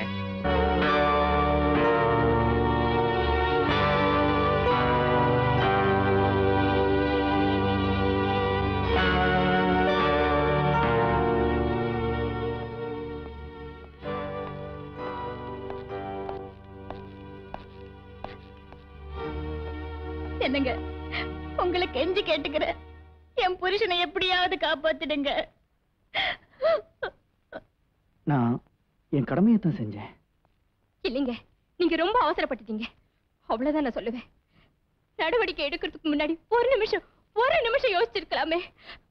அவர் யாரு எப்படிப்பட்டவரு இப்படி எல்லாம் பண்ணக்கூடியவர் தானே ஏன் யோசிக்காம போயிட்டீங்க? பிரபாகர் இப்படி எல்லாம் பண்ணக்கூடியவர் இல்லைன்னு எனக்கு நல்லா தெரியும். ஆனா நான் கேள்விப்பட்ட வதந்தியை வச்சு நடவடிக்கை எடுக்கலையே. சம்பவத்தை நானே என் கண்ணால பார்த்தேன். நல்லா பாத்தீங்க கண்ணால. அறையும் குறையுமா பார்த்தது மட்டுமே வச்சு குருட்டுத்தனமான முடிவுக்கு வர்றதெல்லாம் நீங்க மன்னனாச்சே. இந்த நாசமா போன பழக்கத்தை எப்பதான் விட போறீங்களோ? வித்யா ஏம்மா உணர்ச்சி வசப்படுற? மாப்பிள்ளை சொல்றதை முழுசா கேட்போமே. என்ன கண்ணால பாத்தீங்க? சொல்லுங்க மாப்பிள்ளை மோகன் நெஞ்சில இருந்து பிரபாகர் கத்திய உருவறத நான் என் கண்ணால பார்த்தேன். குத்தும் போது நீங்க பாத்தீங்களா? இல்ல ஆனா அவர்தான் குத்தி இருக்கணும் நோ மோகன் கத்தியால குத்தப்பட்டு உயிருக்காக போராடிட்டு இருக்கும்போது அவரை காப்பாத்துறதுக்காகத்தான் அத்தான் கத்திய உருவிருக்காருன்னு நான் சொல்றேன். அது உன்னோட யூகம். யூகம் எப்படி உண்மையாகும்? கத்திய உருவினவர் தான் கொலையும் பண்ணியிருக்கணுங்கிற உங்க யூகம் மட்டும் உண்மையாயிடுமா? இது வெறும் யூகம் இல்ல. உண்மை. அதுக்கு ஆதாரமா நிறைய தடயங்கள் கிடைச்சிருக்கு. சம்பவம் நடந்த இடத்துல பிரபாகரோட கைரேகை ரத்தம் தோஞ்ச கால் தடம் பல இடங்கள்ல பதிஞ்சிருக்கு. அவர் ட்ரெஸ்லயும் ரத்தக்கரை இருந்தது. அந்த இடத்துக்கு அவர் போயிருக்கிறதுனால கைரேகையும் கால் தடமும் பதியறதுக்கு சந்தர்ப்பம் இருக்கு. ஆனா அதை மட்டுமே வச்சு அவர்தான் கொலையாளின்னு முடிவு பண்றது என்னங்க நியாயம்? பிரபாகர் மோகனை கொலை பண்றதுக்கு ஸ்ட்ராங் மோட்டிவ் இருந்திருக்கு. பிரபாகரோட பேரை பயன்படுத்திக்கிட்டு தொழிலாளிங்க கிட்ட இருந்து ஒரு லட்சம் ரூபா நிதி வசூல் பண்ணி சுகபோகமா வாழ்க்கை நடத்தியிருக்கான் மோகன். விஷயத்தை கேள்விப்பட்டதும் ஆத்திரமடைஞ்ச பிரபாகர் அவனை என்ன பண்றான் பாருன்னு கருவிக்கிட்டே ராத்திரி எட்டு மணிக்கு தொழிற்சங்க ஆபீஸ்ல இருந்து கிளம்பி போனதா அந்த தொழிற்சங்கத்தை சேர்ந்த சங்கரன் காத்தமுத்துன்னு ரெண்டு பேர் வாக்குமூலம் கொடுத்திருக்காங்க. சோ அந்த சாட்சிகளை சாதகமா பயன்படுத்திக்கிட்டு சரியானபடி புலன் விசாரணை கூட பண்ணாம அவசர அவசரமா கேஸ் ஜோடிச்சு ஒரு நிரபராதிய குற்றவாளி ஆக்கிட்டீங்க அப்படித்தானே இன்ஸ்பெக்டர் சார் வெரி குட் உங்க கடமை உணர்ச்சி நான் ரொம்ப பாராட்டுறேன். தொழிலாளர்கள் வாக்குமூலம் கூட எனக்கு பின்னாடி விசாரணையில தெரிய வந்ததுதான். ஆனா மோகன் வீட்டுக்குள்ள பிரபாகர் கத்தியோட நுழைஞ்சத தன் கண்ணால பார்த்ததா ஒருத்தர்கிட்ட இருந்து எனக்கு ஃபோன் கால் வந்தது. ஓகே நீங்க சொல்றபடியே பார்த்தாலும் எங்க அத்தானுக்கு மோகன் மேல தானே கோவம்? அவரை மட்டும் தானே அவர் கொலை பண்ணியிருக்கணும்? ஏன் குடும்பத்தையே அழிக்கணும்? கொலை செய்யறது அவருக்கு என்ன தொழிலா இல்ல பொழுதுபோக்கா? மோகனை கொலை பண்ண போகும்போது மத்தவங்க தடுத்திருக்கலாம். அதனால அவங்களையும் தீர்த்து கட்டியிருக்கலாம். கொலை வெறி பிடிச்ச மிருகம்னு என் புருஷனை சொல்லாம சொல்றீங்களே. இது உங்களுக்கே நல்லா இருக்கா? அப்பா இத நீங்களாவது அவருக்கு எடுத்து சொல்லுங்கப்பா. நீ புருஷன் மேல இருக்கிற பாசத்துல பேசுற. அவர் போலீஸ்காரருங்கிற முறையில பேசுறாரம்மா. நீங்க சொல்லுங்க மாப்ள சாரி நீங்க எல்லாம் என்ன தப்பா புரிஞ்சிட்டு இருக்கீங்க பிரபாகர் மேல வீண் பழி சுமத்துறதுல எனக்கு என்ன லாபம்? ப்ரமோஷன் கிடைக்குமே. நீ ஆத்திரப்படுறதுல அர்த்தம் இல்ல வித்யா. போஸ்ட்மார்ட்டம் ரிப்போர்ட் கூட உங்க அத்தானுக்கு பாதகமா தான் இருக்கு. கொலைகள் அத்தனையும் ராத்திரி எட்டு மணில இருந்து பத்து மணிக்குள்ள நடந்ததா? பிரேத பரிசோதனை பண்ண டாக்டருடைய அபிப்பிராயம். உங்க அத்தான் தொழிற்சங்கத்தை விட்டு கோவமா கிளம்புனது ராத்திரி எட்டு மணிக்கு. ஸ்பாட்ல நான் அவர் கைது பண்ணது பத்து மணிக்கு. இதுக்கு அப்புறமும் கூட உங்க அத்தான். ஒரு நிமிஷம். போஸ்ட்மார்ட்டம் ரிப்போர்ட் படி கொலைகள் அத்தனையும் ராத்திரி எட்டு மணில இருந்து பத்து மணிக்குள்ள நடந்திருக்கு. இல்லையா? ஆமா. அப்ப எங்க தான் நிரபராதிங்கிறத என்னால திட்டவட்டமா சொல்ல முடியுங்க? அதுக்கு என்ன ஆதாரம்? தொழிற்சங்கத்துல இருந்து அத்தா மோகன் வீட்டுக்கு வந்துட்டு இருக்கும்போது நடுவழியில பெங்களூர் மகாராஜா இண்டஸ்ட்ரீஸை சேர்ந்த சில தொழிலாளிங்க அவரை சந்திச்சு பேசிட்டு இருந்திருக்காங்க. அவங்க கிட்ட பேசிட்டு அவர் புறப்படும் போது மணி ஒன்பது நாற்பத்தஞ்சு கொலை நடந்த இடத்துக்கு அவர் போய் சேரும்போது மணி ஒன்பது ஐம்பத்தஞ்சு. நீங்க அவரை அரெஸ்ட் பண்ணும்போது மணி பத்து. சோ அஞ்சு நிமிஷத்துல அவர் எப்படி மூணு கொலை செஞ்சிருக்க முடியும்? இதே தான் பிரபாகர் தன் வாக்குமூலத்துல குறிப்பிட்டிருந்தார். ஆனா துரதிருஷ்டவசமா பெங்களூர்ல அப்படி ஒரு தொழிற்சாலையே இல்லைங்கிறது விசாரணையில தெரிய வந்திருக்கு. சோ அந்த தொழிற்சாலையை சேர்ந்த சில தொழிலாளிகளை அவர் சந்திச்சேன்னு சொல்றது கட்டுக்கதை. இல்ல உண்மை. அந்த தொழிலாளிங்க கிட்ட அவர் பேசிட்டு இருந்தது எனக்கு நல்லா தெரியும். ஏன்னா அந்த நேரத்துல நான் அவரை சந்திச்சேனே? அது மட்டும் இல்ல நான் தான் அவரை மோகன் வீட்டுல கொண்டு போய் டிராப் பண்ணேன். ஒன்பது ஐம்பத்தஞ்சுக்கு. இதுக்கு யார் சாட்சி? நான் தான் சொல்றேனே. அதை விட உங்களுக்கு என்ன பெரிய சாட்சி வேணும்? நீ சொல்றத கோர்ட் நம்பாது. ஏன்னா நீ குற்றவாளிக்கு சொந்தக்காரி அவன் மேல அக்கறை உள்ளவ பிரபாகர் கிட்ட பேசிட்டு இருந்தப்ப நீ பார்த்ததா சொன்னியே. அந்த தொழிலாளிங்க சொன்னா ஒருவேளை கோர்ட் நம்பலாம். ஆனா அவங்கள உன்னால கோர்ட்ல கொண்டு வந்து நிறுத்த முடியுமா? முடியாது. ஏன்னா பெங்களூர்ல அப்படி ஒரு தொழிற்சாலையே இல்ல. எல்லாத்துக்கும் மேல. நீ மோகன் வீட்டுல கொண்டு போய் இறக்கி விட்டதா? பிரபாகர் தன் வாக்குமூலத்துல சொல்லவே இல்லை. அதனால பிரபாகர் நிரபராதின்னு நீ வாதாடுறதுல அர்த்தம் இல்ல அதை உன்னால நிரூபிக்கவும் முடியாது.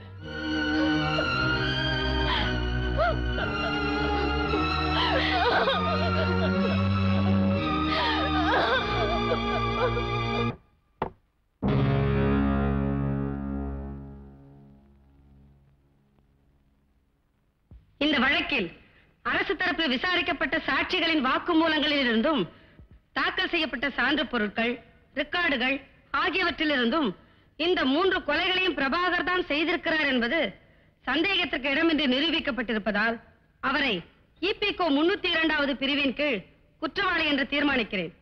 மேலும் தொழிற்சங்க துணைத் தலைவர் மோகன் மீது உள்ள முன் விரோதத்தினால் மோகனை மட்டுமின்றி அவரது மனைவியே மகனையும் கூட பிரபாகர் ஈவி இறக்கம் என்று கொலை செய்திருப்பதால் அவருக்கு எந்த விதமான கருணையோ அனுதாபமோ காட்ட இந்த நீதிமன்றம் தயாராக இல்லை. ஆகவே அதிகபட்ச தண்டனையாக குற்றவாளிக்கு மரண தண்டனை விதிக்கிறேன்.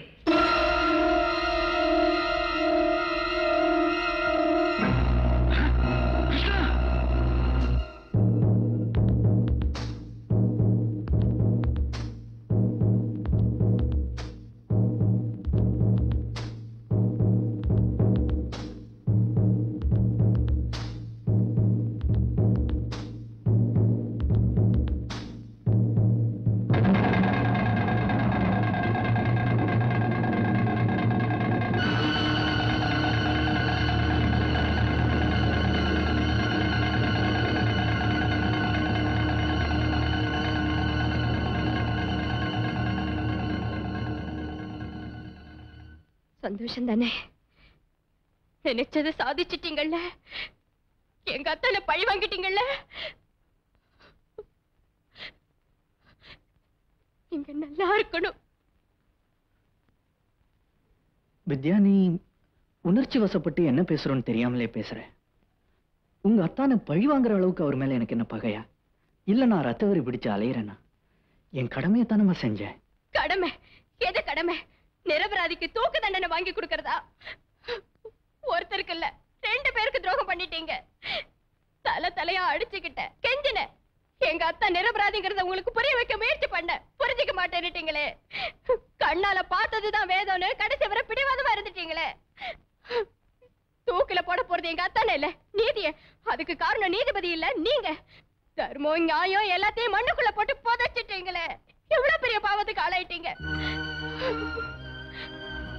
விடமாட்டேன். கடைசி வரைக்கும் போராடுவேன். நீதியை காப்பாத்த போறேன். எங்க அத்தான காப்பாத்த போறேன். இந்த பாவத்திலிருந்து உங்களையும் காப்பாத்த போறேன். இது சத்தியம். படிச்சு படிச்சு சொன்ன கேட்டியா? என்ன ஸ்டைலா மோட்டர் பைக் விடுவேன் சும்மா அப்படி பறப்பிய இந்த மாதிரி பறக்கிற பசங்களுக்கு எல்லாம் இப்படி கட்டக்கால் தான். இந்த தண்டால ஒண்ணும் குறைச்சே இல்ல. இப்படியே தினம் அவனை திட்டிக்கிட்டு இருந்தீங்கன்னா போன கால் திரும்பி வந்துடுமா? ஏதோ எனக்கு தம்பியா பிறந்த பாவத்துக்கு அவன் இங்க கடந்து சாகுறான். கிடந்து சாகுறானா? ஏன் நான் சோறு போடல? கால் ஒடியாம ஒழுங்கா இருந்திருந்தா என் கூட செக்ரட்டரியா இருக்கலாம். இப்ப இது இல்ல? என்ன மாதிரி பொய் பேசுவானா? என்ன விட நீ பொய் பேசுறியா? எனக்கு இருக்கிற செல்வாக்கு என் மச்சினன்னு சொன்னா எவ்வளவு பெரிய இடத்துல இருந்தெல்லாம் பொண்ணு கொடுப்பாங்க. கேட்டானா அத? இல்ல கேட்டானா அத? ம். யார் யாருக்கோ ஃப்ராட் பண்ணி என்னென்னமோ காரியம் எல்லாம் சாதிக்கிறீங்களே நம்ம வீட்டுக்கு ஒரு ஃப்ராட் பண்ணி இவனுக்கு ஒரு பொண்ணை கட்டக்கூடாதா? என்னது? நான் ஃப்ராடா அத இங்க சொல்லாதடி. தெருவுல போய் ஒரு மைக்க வச்சுட்டு சொல்லு ஊருக்கே தெரியட்டும். இத பிடிங்க. எங்கடா போற? மைக்கு ஏற்பாடு பண்ணதான் நான் ஒருத்தன் சொல்ற பொய்யால ஒரு குடும்பமே சோறு திங்கிறீங்க ஆனா என்ன யாருமே மதிக்கிறது இல்ல. ஆயிரம் பையன் சொல்லி ஒரு கல்யாணத்தை பண்ணி வைக்கலாம்னு சொல்லுவாங்க. நீங்க இவனுக்காக ஒரே ஒரு பையன் சொல்லி இவன் கல்யாணத்தை நடத்தி வைக்க கூடாதா இந்த கட்டக்காரங்க அவன் பொண்ணு கொடுப்பான். அது என்னமோ எனக்கு தெரியாது. நான் ஒரு விளம்பரம் கொடுக்க போறேன். பொதுப்பணையோட மச்சனருக்கு பொண்ணு வேணும்னு. வர்ற பொண்ணு வீட்டுக்காரங்களை நீங்க தான் சமாளிக்கணும்.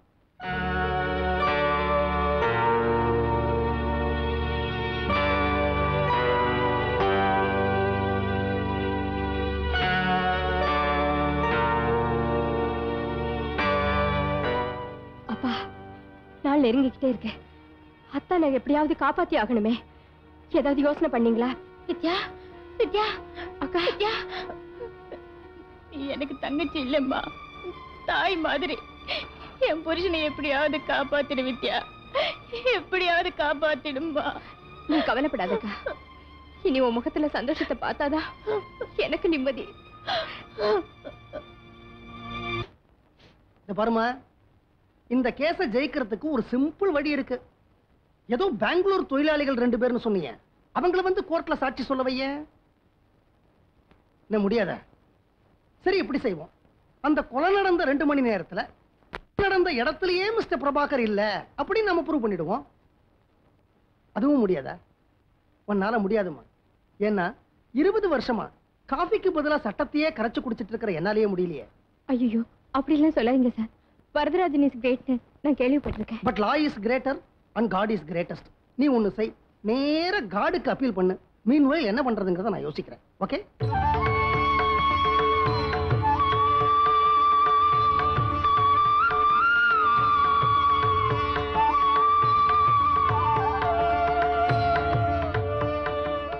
லோகத்துல சர்வ நிச்சயமா இருக்கிறது சக்தி மட்டும்தான். சக்தியினால சாதிக்க முடியாதது எதுவுமே இல்லை. உங்க அக்காவை மாங்கல்ய பூஜை பண்ண சொல்லுமா? அம்பாள் நிச்சயமா உங்க அக்கா மாங்கல்யத்தை காப்பாத்துவா. சர்வம் சக்திமயம்.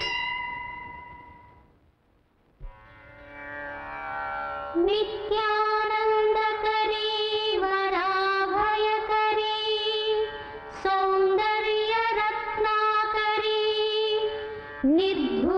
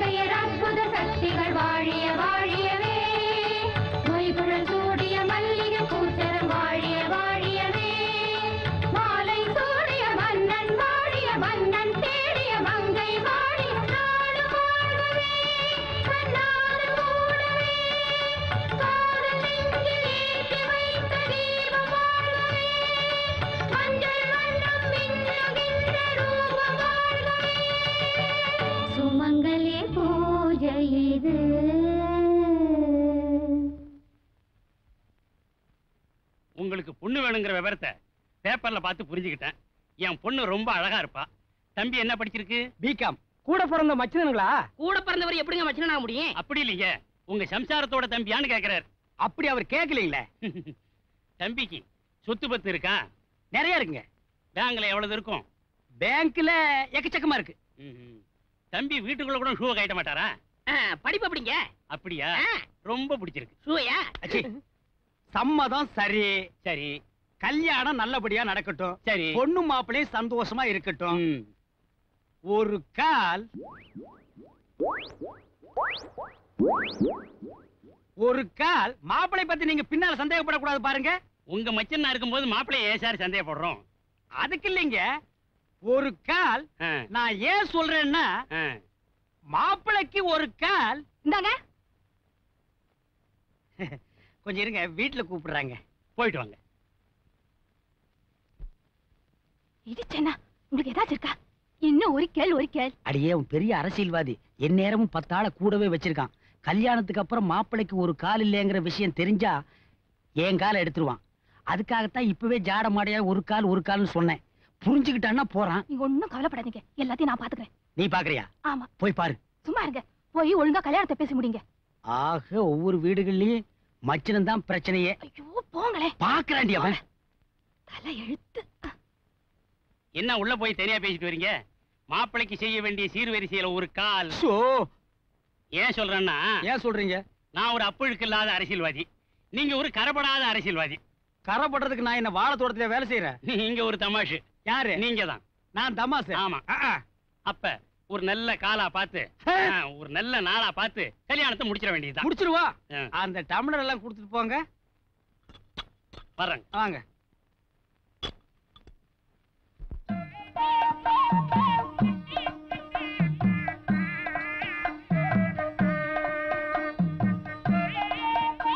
மாப்பிள முத முத வீட்டுக்குள்ள வரீங்க. வலது கால எடுத்து வச்சு வாங்க. நீ வாமா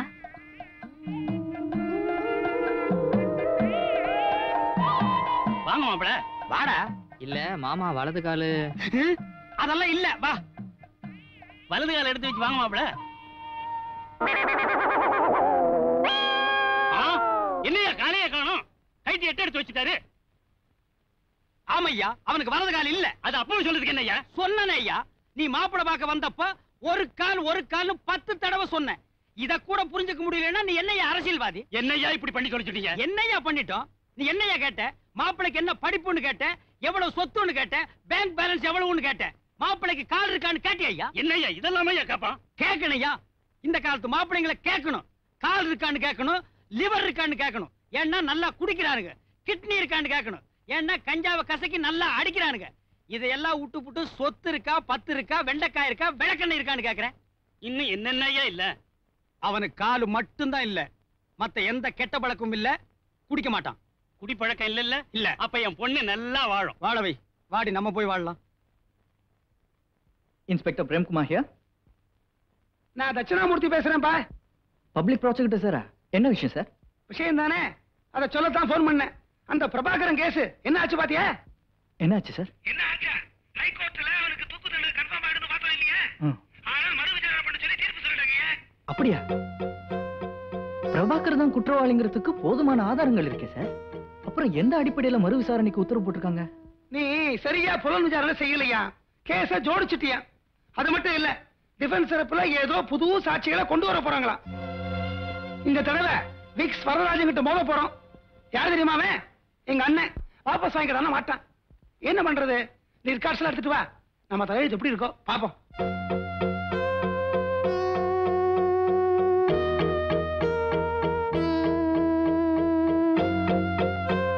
கங்க்ராச்சுலேஷன் சப் இன்ஸ்பெக்டர் அன்னைக்கு ஏதோ உங்க அத்தான் உயிருக்கு ஆபத்து வந்துருச்சேங்கிற ஆத்திரத்துல என்கிட்ட சபதம் போட்டீங்கன்னு நினைச்சேன்.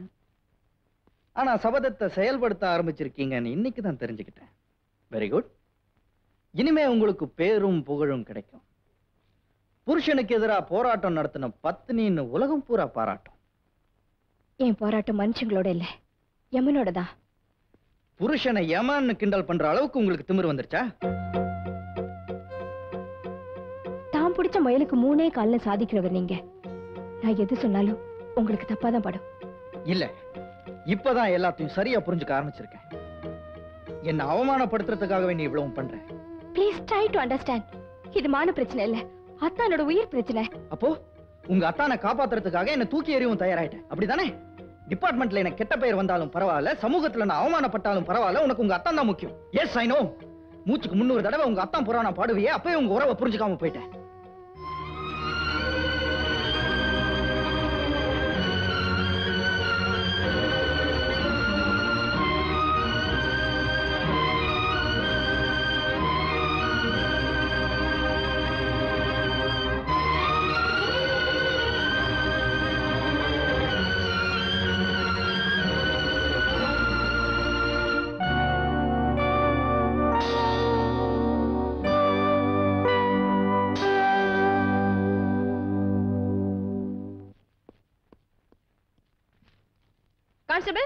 மேடம். ஜிடி எங்க இருக்கு? சார் கிட்ட இருக்கு. இந்தாங்க.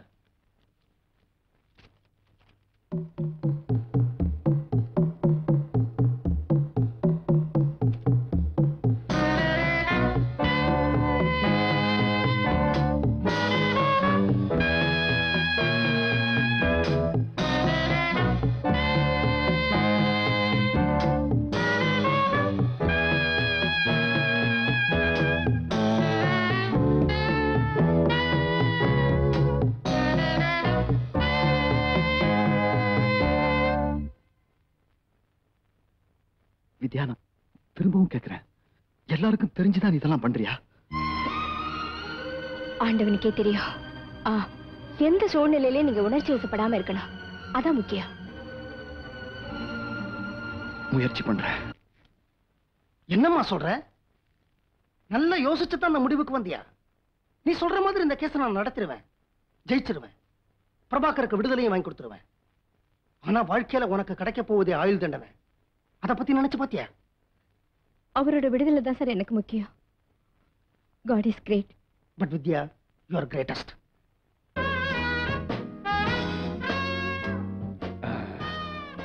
நாளைக்கு திரும்பவும் விசாரணை ஆரம்பமாக போறது நினைச்சா கொஞ்சம் பயமா தான் இருக்கு. போயா? அதுவும் இந்த தடவை. விக்ஸ் வரதராஜன் கிளி கிளின்னு கிழிச்சிடுவான். எத? கோட்டையா? ஏற்கனவே அந்த ஆளுக்கு கிழிஞ்ச கோட்டு. தமாசா இல்ல? ஒரிஜினல் கொலகாரன் நான் எங்க இருக்க முதல் ரவுண்ட்ல முக்கியமான சாட்சிங்க ஆயிரம் மைலுக்கு அப்பால இருக்காங்க. எத்தனாவது ரவுண்ட்லயோ. எதை வச்சு கேஸ் நடத்துவாங்க? சும்மா பொழுது போல நடத்துறாங்க. நடத்துட்டுமே.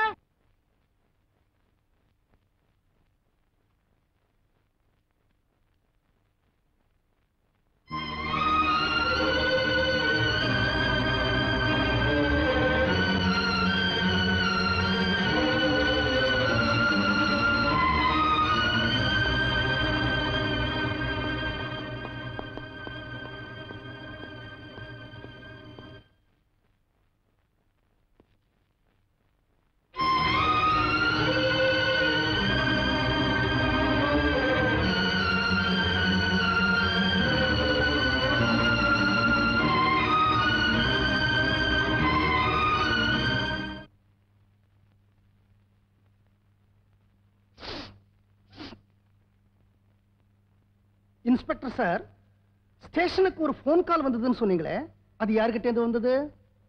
அதை நான் விசாரிக்கல. விசாரிக்கலையா? ஏன் சார் விசாரிக்கல? ஸ்டேஷனுக்கு பொதுவாகவே இந்த மாதிரி அனாமத்து கால்ஸ் நிறைய வரதுண்டு அதுலயும் இது கொலை சம்பந்தப்பட்டதுங்கிறதுனால உடனடியா ஸ்பாட்டுக்கு போய் சம்பந்தப்பட்ட உயிரை காப்பாத்துறது தான் முக்கியம் நான் நினைச்சேன். அதனால தகவல் கொடுத்தவரை பத்தி விசாரிச்சு நேரத்தை வீணாக்க நான் விரும்பல. நல்ல பாலிசி நல்ல பாலிசி இதெல்லாம் நான் ஒன்றும் தப்பே சொல்ல முடியாது. அது சரி இன்ஸ்பெக்டர் சார். கொலை செய்யப்பட்டவர்களின் உடல்களில் உள்ள காயங்களை வைத்து பார்க்கும் பொழுது ஒன்றிற்கும் மேற்பட்ட ஆயுதங்கள் பயன்படுத்தப்பட்டிருக்கலாம் அப்படின்னு போஸ்ட்மார்ட்டம் ரிப்போர்ட் சொல்றது. நீங்க கைப்பற்றின ஆயுதம் ஒண்ணு கத்தி. அந்த மேற்பட்ட ஆயுதங்கள்லாம் என்னாச்சு? ஸ்பாட்ல எனக்கு வேற எதுவும் கிடைக்கல. மாயமா மறைஞ்சு போயிடுச்சா? நான் அங்க போறதுக்குள்ள குற்றவாளி அதையெல்லாம் மறைச்சு வச்சிருக்கலாம். வீட்டுல கொண்டு போய் வச்சுட்டு வந்திருக்கலாங்கிறீங்க. I object is your honour defence lawyer இந்த கிண்டல நான் வன்மையா கண்டிக்கிறேன். உண்மைகள்லாம் நன்னா கிண்டி கலர்றதுக்காகத்தான் மறு விசாரணைக்கே உத்தரவிட்டிருக்காங்க. அப்படிங்கறத கனம் பப்ளிக் ப்ராசிக்யூட்டருக்கு நான் ஞாபகப்படுத்த விரும்புறேன் your honour objection overruled inspector sir கொலை நடந்த இடத்துல கைரேகைகள்லாம் இருந்தது நீங்க சொன்னீங்க. அது யாருடைய கைரேகைன்னு சொல்ல முடியுமா? எல்லாமே குற்றவாளியோட கைரேகை தான். குற்றம் சாட்டப்பட்டவருடைய கைரேகைன்னு சொல்றீங்க. ஆ? எந்தெந்த இடத்துல கைரேகைகள் இருந்தது? அதை சொல்ல முடியுமா? செவத்துல ரெண்டு மூணு இடத்துல இருந்தது. ஆ? வாசக்கதவுல இருந்தது. ம், பாத்ரூம் கதவுல இருந்தது. ம். அப்புறம் டிவில கூட இருந்தது. டிவியில குறிப்பா எந்த இடத்துல கைரேகை இருந்தது? ஆன் ஆஃப் சுவிட்ச்ல சோவர் டிவியை ஏக்கி இருக்காருன்னு நீங்க சொல்றீங்க. ஆமா. நீங்க போனப்போ டிவி ஆன்ல இருந்ததா இல்ல ஆஃப்ல இருந்ததா? ஆஃப்ல இருந்தது. சோ அவர் தான் ஆஃப் பண்ணிருக்கணும்னு நீங்க சொல்றீங்க. இன்ஸ்பெக்டர் சார் சாதாரணமா கொலை நடக்கிற இடங்கள்ல டிவியோ இல்ல ரேடியோவோ இருந்ததுன்னா இந்த கொலகாரங்க கொலை செய்யப்படுறவங்களுடைய கூச்சல் வெளியில கேட்க கூடாதுங்கிறதுக்காக டிவியோ ரேடியோவையோ ஆன் செஞ்சு பெருசா வைக்கிறது வழக்கம் இல்லையா? ஆமா. ஆனா நீங்க போன போது கொலை நடந்த இடத்துல டிவி ஆஃப் செய்யப்பட்டிருக்கு. அதுவும் கொலகாரங்கையாலேயே ஆஃப் செய்யப்பட்டிருக்குன்னு நீங்க தான் சொன்னீங்க இல்லையா? Your Honor.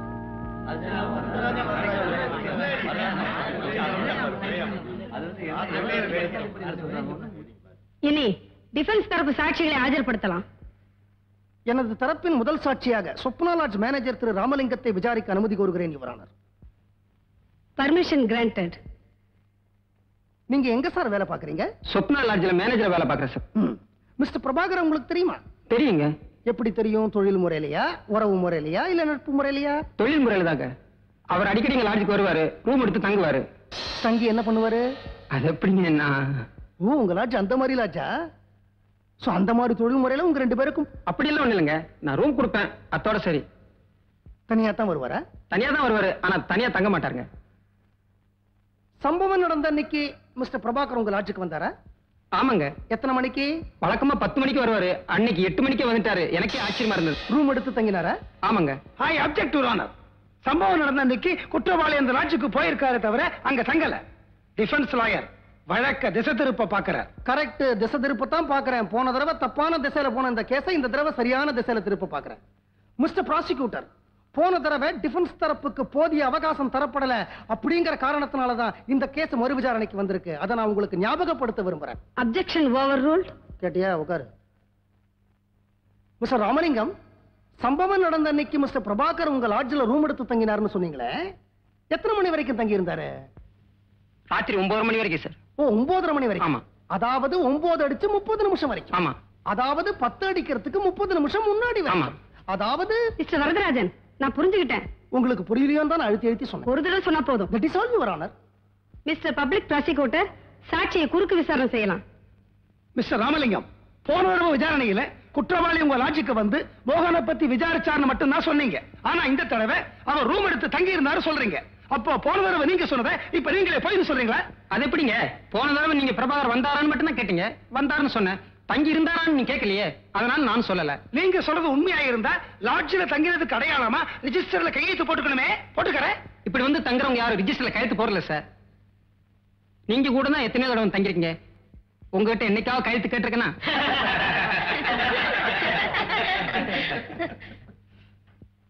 கேட்ட கேள்விக்கு மட்டும் பதில் சொன்னா போதும்.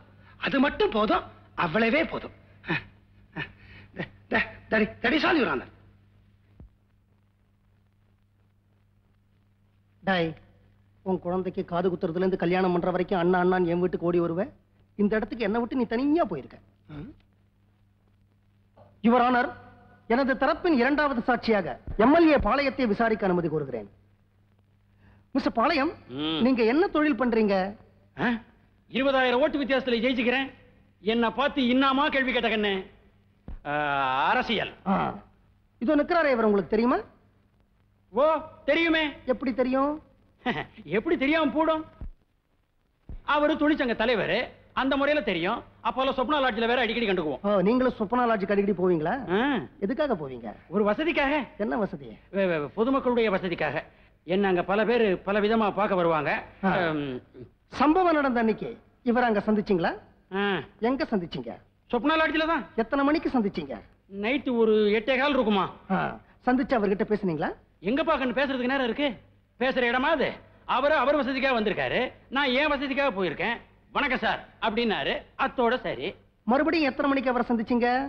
அப்பால நைட்டு ஒரு ஒன்பதரை மணி இருக்கும். அவர் வெளியே போகும்போது பார்த்தேன். உங்க வசதி எல்லாம் முடிஞ்சதுக்கு அப்புறம் கேப்லயே சாதாரணமா எத்தனை மணிக்கு உங்க வசதி முடியும்? அது முன்ன பின்ன இருக்கும். தட்ஸ் ஆல் யுவர் இதெல்லாம் எனக்கு தெரியாதுப்பா. அவர் வெளியே போனது மட்டும் தான் நான் பார்த்தேன். இது ஜட்ஜோட வசதிக்கு. மிஸ்டர் பப்ளிக் ப்ராசிக்யூட்டர் சாட்சியை குறுக்கு விசாரணை பண்ணலாம். மிஸ்டர் பாளையம் நீங்க எந்த கட்சின்னு சொன்னீங்க? ஊதா கட்சி. தேர்தல் சமயத்துல நீங்க மஞ்சள் கட்சியில தீவிரமா இருந்ததாக பேப்பர்ல படிச்சேனே? ஊதா கட்சிக்காரர்கள் என்னை விலைக்கு வாங்கி விட்டார்கள். இது கோர்ட் ஓஹோ இது உயரமான இடத்துல ஏறி நின்னாலே அந்த புத்தி வந்துருதுப்பா. சோ நீங்க பணத்துக்காக என்ன வேணா செய்வீங்க. அப்படித்தானே? சில்லறைக்கெல்லாம் பண்றது இல்ல பண்டலுக்கு மட்டும் பண்ணிக்கிட்டு இருக்கேன். நான் சொல்றேன் நீங்க குற்றவாளி கிட்ட பணத்தை வாங்கிக்கிட்டு பொய் சாட்சி தான் சொல்ல வந்திருக்கீங்கன்னு. ஒத்துக்கிறீங்களா? ஒத்துக்க மாட்டேனே. அரசியல் தாமா எனக்கு வயித்து போய்ப்பு. கோர்ட்ல போய் சாட்சி சொல்றதா? பீசாத்து சரி. சம்பவம் நடந்த அன்னைக்கு சொப்னா லாட்ஜில பிரபாகரை சந்திச்சதா சொன்னீங்களே? எங்க சந்திச்சீங்க? முன்பகுதி ரிஜப்ஜன். அதுக்கப்புறம் அவர் எங்க போனாரு? என்ன செஞ்சாருன்னு உங்களுக்கு தெரியுமா? தெரியாதுமா ஒன்பதரை மணிக்கு அவரும் சப் இன்ஸ்பெக்டர் அம்மாவும் ஒன்னா வெளியே போனாங்க. அதான் தெரியும். சப் இன்ஸ்பெக்டர் அம்மாவா? அஹ், வித்யாம்மா கேட்டு பாரு. இல்லைன்னு சொல்ல சொல்லு.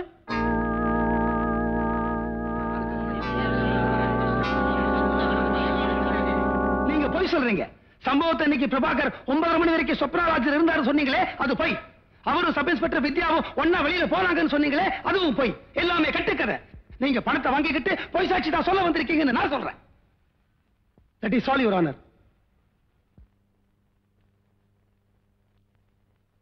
எனது தரப்பில் கடைசி சாட்சி sub inspector Vidya. Yes proceed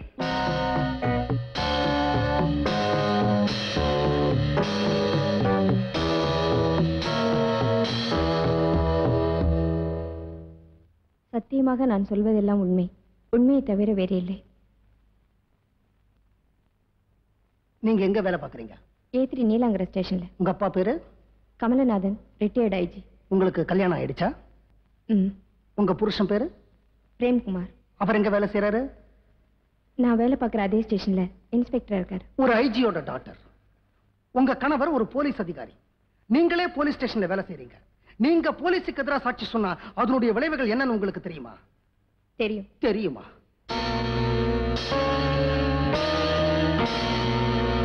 Prabhakar உங்களுக்கு தெரியுமா? தெரியும். எப்படி தெரியும்? என் சகோதரியோட கணவர். சம்பவம் நடந்த அன்னைக்கு நீங்க அவரை சந்திச்சீங்களா? சந்திச்சேன். எங்க சந்திச்சீங்க? சொப்னா லாட்ஜில். எத்தனை மணிக்கு? எட்டே கால் மணிக்கு. நீங்க அங்க எதுக்காக போனீங்க? ரெய்டுக்காக. நீங்க ரெய்டுக்கு போனீங்கங்கிறதுக்கு ஏதாவது ஆதாரம் இருக்கா? லாட்ஜ் ரெஜிஸ்டர்ல நோட் எழுதியிருக்கேன். தவிர எங்க ஜெனரல் டைரியில என்ட்ரி போட்டிருக்கேன். அன்னைக்கு ஏதாவது கேஸ் கிடைச்சதா? ஆறு பேர் அரெஸ்ட் பண்ணியிருக்கேன். எத்தனை மணிக்கு ரெய்டு முடிஞ்சது? எட்டரை மணிக்கு. சரி எட்டே முக்கால் மணிக்கு எங்க இருந்தீங்கன்னு சொல்ல முடியுமா? ஒன்பது மணிக்கு எங்க இருந்தீங்க? ஒன்பதே கால் மணிக்காவது எங்க இருந்தீங்கன்னு சொல்ல முடியுமா?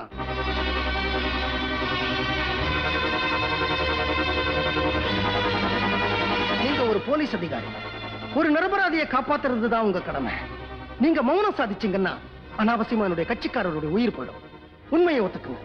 அன்னைக்கு ரைடுங்கிற போர்வேல நீங்க சொப்னா லாட்ஜுக்கு போனதே மிஸ்டர் பிரபாகரை சந்திக்கத்தான். உங்களுடைய ரைடு எட்டரை மணிக்கு முடிஞ்சு போயிடுச்சு. ஆனா ஒன்பதரை மணி வரைக்கும் நீங்க அங்க இருந்திருக்கிறீங்க. நீங்களும் பிரபாகர் ஒன்னா வெளியில போனதை மிஸ்டர் பாளையம் பார்த்திருக்கிறாரு. சோ எட்டரைல இருந்து ஒன்பதரை வரைக்கும் சொப்னா லாட்ஜ்ல ரூம் நம்பர் முப்பத்தி ஒண்ணுல நீங்களும் பிரபாகரும் ஒன்னா தங்கி இருந்திருக்கிறீங்க. அப்படின்னு நான் சொல்றேன்.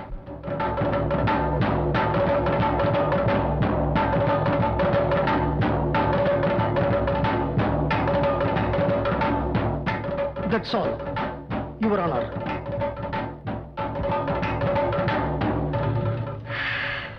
Public prosecutor சாட்சியை குறுக்கு விசாரணை செய்யலாம். யுவர் ஆனர்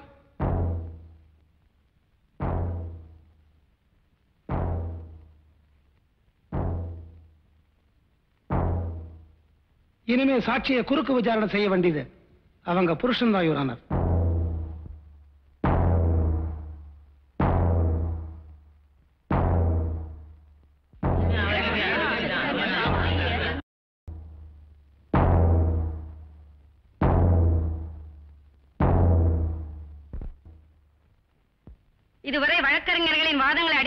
வைத்து தீர்ப்புகள் வழங்கி வந்த அந்த நீதிமன்றம்.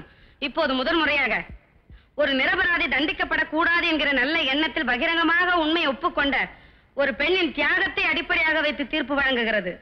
கொலை நடந்ததாக சொல்லப்பட்ட அந்த இரண்டு மணி நேரமும் குற்றம் சாட்டப்பட்ட பிரபாகர் கொலை நடந்த இடத்தில் இல்லை என்பதும் இந்த கொலைகளை அவர் செய்திருக்க முடியாது என்பதும் திருமதி வித்யாவின் சாட்சியத்தின் மூலம் சந்தேகத்திற்கு இடமின்றி நிரூபணமாகியிருப்பதால் இந்த வழக்கிலிருந்து நான் அவரை விடுதலை செய்கிறேன்.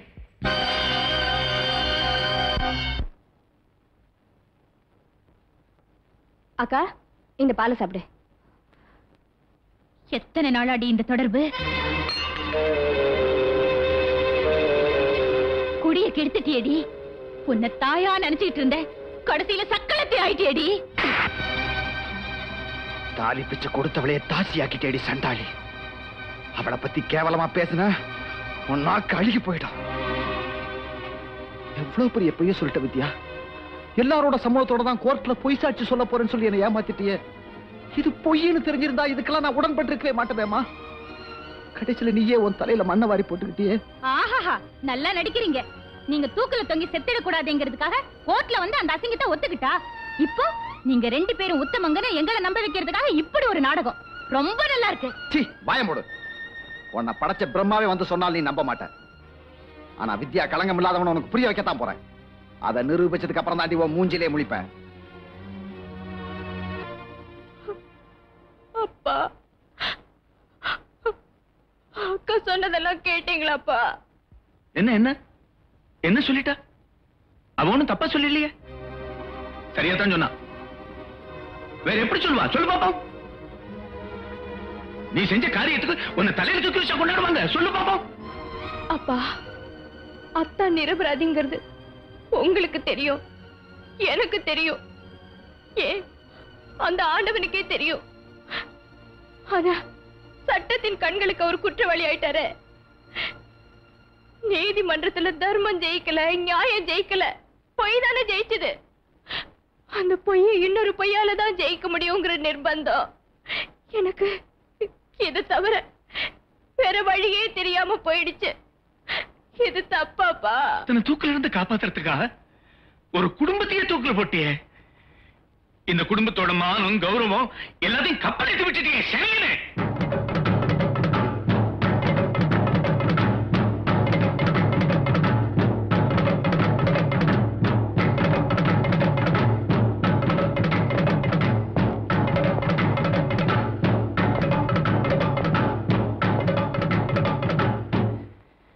வித்யாவோட தியாகத்தை உங்களாலெல்லாம் புரிஞ்சுக்க முடியாது மாமா.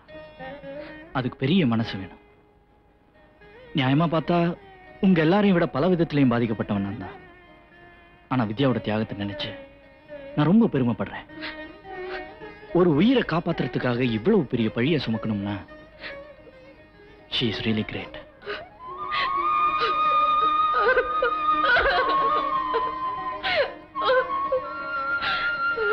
இவங்கெல்லாம் உன்னை அவமான சின்னமா நினைச்சதுக்கு அப்புறம் இங்க ஒரு நிமிஷம் கூட இருக்கக்கூடாது.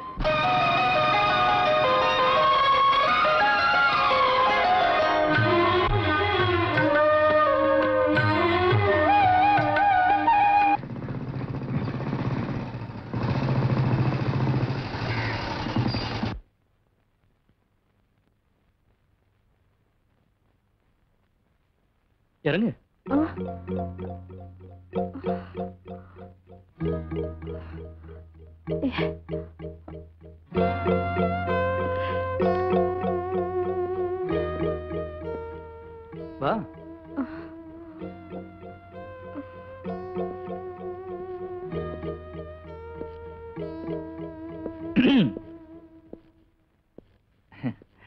சௌக்கியமா?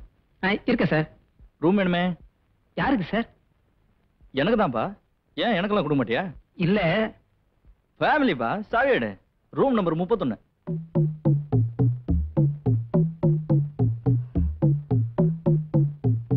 போலாமா?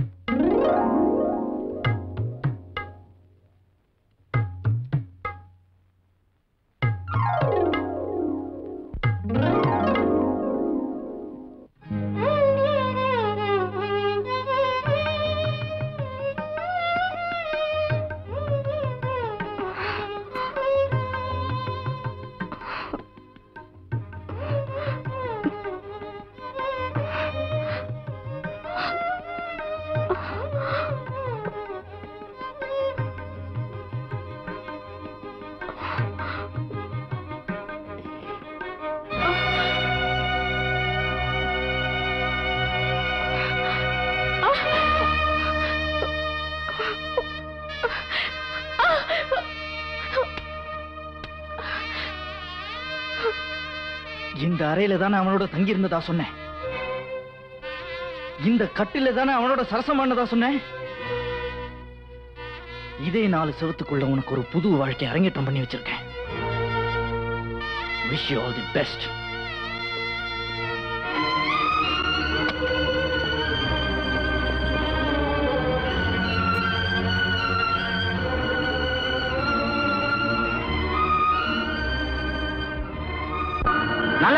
கிராக்கி இது வரைக்கும் பார்த்ததே இல்லையா. ஆளை பார்த்தா சோக்கா இருக்கிற? என்னம்மா ரேட்டு இன்னைக்கு நைட் இங்கே தங்கிடலாமா? ஏமா அழுகுறேன் இன்ஸ்பெக்டர் துட்டு கொடுக்கலையா? இந்த தொழிலெல்லாம் சர்வ சாதாரணமா நான் கொடுக்குறேன். வாணி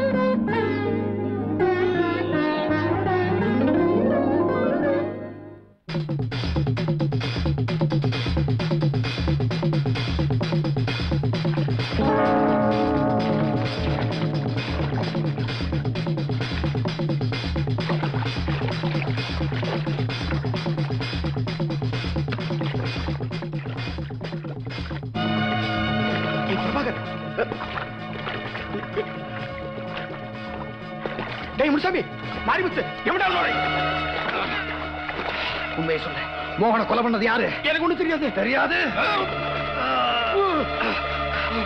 உன்னால நான் நடுத்தருவுக்கு வந்துட்டேன்.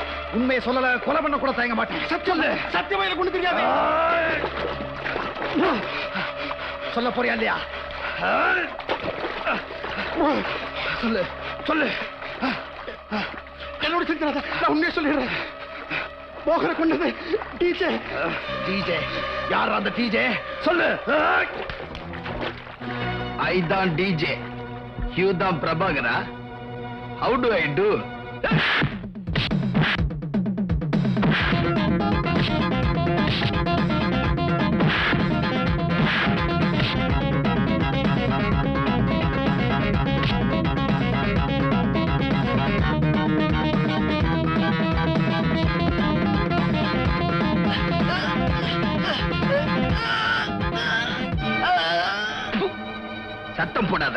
போடாதடா பேமானி சத்தம் போட்ட.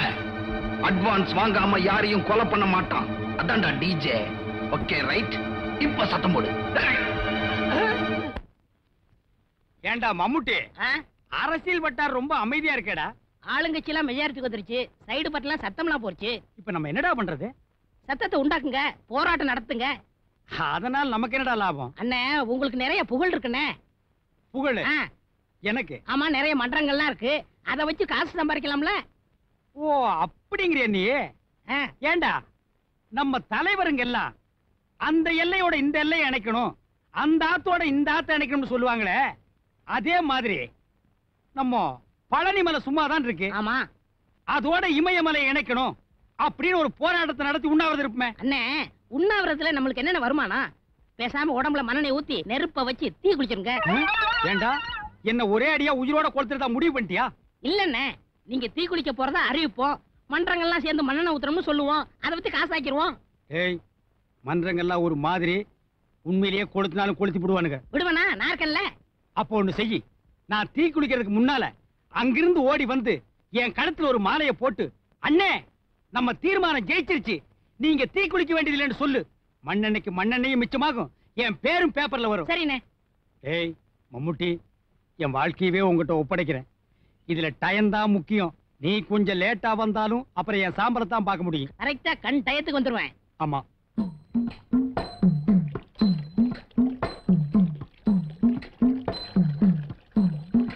கூடியிருக்கும் நண்பர்களே நாம இதுவரைக்கும் எத்தனையோ அரசியல் கட்சிகளை பார்த்திருக்கிறோம் அரசியல்வாதிகளை பார்த்திருக்கிறோம் ஆனா இவரு மாதிரி துணிச்சலான ஒருத்தரை பார்த்ததே கிடையாது.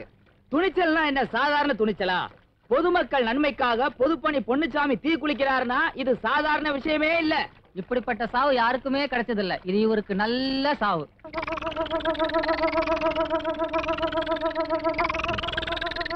வாங்க வாங்க?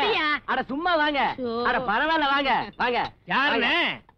தெரியல நம்ம தலைவர் பொதுப்பணி பொன்னுசாமி இருக்காருல்ல ஆமா. அவருடைய பரசலர் செக்ரட்டரியே இவர்தான். உட்காருங்க. பகல்ல ஆரம்பிச்சிட்டீங்களா? சும்மா ஒரு பொழுதுபோக்கு தான் ஆமா நம்ம தலைவர் தீ குளிக்க போறதா கேள்விப்பட்டோமே. அது என்னைக்கு? இன்னைக்கு தான் மாலை வாங்கிட்டு போறேனே தெரியல? ஆமா அண்ணன் போயிட்டாருன்னா அடுத்த வரிசை தம்பி தானே? அட ஏன்டா சும்மா பேசிட்டே இருக்க ஊத்துறா. ஊத்துறா. இங்க பாருங்க இது ஒரு உயிர் சம்பந்தப்பட்ட விஷயம். அண்ணன் தீ குளிக்கிற மைதானத்துக்கு நான் போய் ஆகணும் என்ன விட்டுருங்க. எங்க போறீங்க? அண்ணனுடைய வலதுகரமே இதான். வலது இங்க இருக்கியா? இதா இத விட்டுருமா ஆமா அண்ணன் தீ குளிக்கிறது எத்தனை மணிக்கு? பத்து மணிக்கு. டேய் மணி என்ன? எட்டு தானே ஆகுது. இன்னும் ரெண்டு மணி நேரம் இருக்கு. இந்த உலகத்தையே ஒரு ரவுண்டு போயிட்டு வரலாம். ஒரு சின்ன ரவுண்டு போடுறதுக்கு பயப்படுறீங்களே. கொண்டாடா. அண்ணே சரக்கு பன்னீர் மாதிரி இருக்கும். நின்ன மேனிக்கு அடிங்க. என்னையா இது? அப்படி சொல்லையா இருக்கு? சாப்பிடுங்க. என்ன அது சப்புன்னு இருக்கு. இன்னும் கொஞ்சம் ஊத்தியா? ஊத்துறா. பன்னிரெண்டாவது வட்டத்தின் சார்பாக அண்ணனுக்கு இந்த தீப்பெட்டியும் இந்த மண்ணனையும் நன்கொடையாக கொடுக்கிறோம். என்ன எங்க ஊத்தியா அண்ணே ஒரு சின்ன விஷயம். நீங்க தீ குளிக்கிறத பாக்குறதுக்காக தமிழ்நாட்டு மூல முடுக்குல இருந்தெல்லாம் லாரி மூலமாவும் பஸ் மூலமாவும் வந்துட்டு இருக்கிறதா நம்ம தொண்டர்கள் செய்தி கொண்டு வந்திருக்காங்க. ஒருத்தனை கொளுத்துறதுனா எவ்வளவு சந்தோஷமா கொண்டாடுறாங்க. இந்த சந்தோஷத்தை ஒரு ஆக்க வேலைக்கு பயன்படுத்தினா எவ்வளவு நல்லா இருக்கும். கொளுத்துறதுனா கும்பலா வந்து நிக்கிறானுங்க ஐயா. ஏன்னா டைம் ஆச்சு பத்தாக்கலாமா இருடா இன்னும் யாரும் வருவாங்க? டேய் தொட்டுக்க ஏதாவது கொண்டாடா மட்டனை குடுறா. உன் மட்டன் யாருக்கடா வேணும்? ஈரல் பிரே கொண்டாடா டேய் தலைவருக்கு ஈரல் பிறை வேணுமா? நீ போய் ஈரல் பெரிய கொண்டா போ. ஊத்துறானே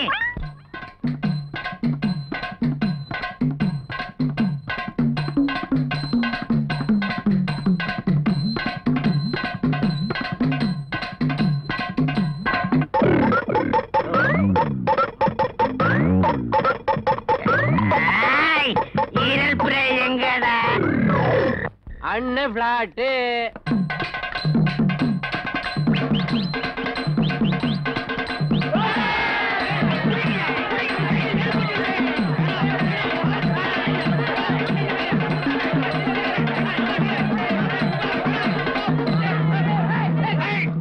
யாரு கிட்ட வராதீங்க. வந்தீங்கன்னா பிளேடு போட்டுருவேன். நீங்க தப்பா புரிஞ்சுட்டீங்க. நான் சொன்னது டீ குடிக்க போறேன்னு தான். டீ குடிக்க போறேன்னு சொல்லல. இல்ல டீ குளிக்க போறேன்னு சொன்னேன். வேணாமா? இதெல்லாம் தப்பு. நான் சொன்னது டீ. இல்ல, டீ. இல்ல மாட்டி இல்ல, பாட்டி. பேசாத, மண்ணெண்ணெய் ஊத்து. ஏய், டீடா. ஊத்து, ஊத்து. Police police. வாங்க சார். வாங்க. நல்ல சமயத்துல வந்து என்ன காப்பாத்துனீங்க. ஒரு சின்ன வேடு மிஸ்டேக்கால ஜனங்கள்லாம் என்ன தப்பா புரிஞ்சுட்டாங்க அப்படியா? நாங்க நல்லா புரிஞ்சுக்கிட்டோம். மிஸ்டர் பொன்னிச்சாமி தப்பான பிரச்சாரத்தால ஜனங்களை ஏமாத்தி அவங்க வேலையை கெடுத்ததுக்காக நியூசன்ஸ் கேஸ்ல உங்களை அரெஸ்ட் பண்றோம். Okay okay okay.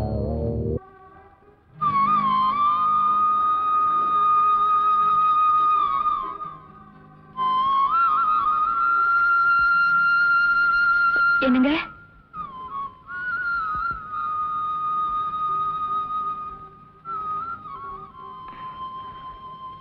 இன்னைக்கு அவர் வீட்டுக்கு அனுப்பிடுறீங்கல்ல? ம் எல்லாம் உன்னாலதான். நீ மட்டும் வேண்டு வேண்டு பிரார்த்தனை பண்ணலனா நாங்க அவ்வளவு சீக்கிரம் அனுப்பிச்சிடுவோமா ஆ? விபூதி. ம். குட் மார்னிங் குட் மார்னிங் வீட்டுக்கு புறப்பட தயாரிட்டீங்க போல இருக்கு. எஸ் ஓ தேங்க்யூ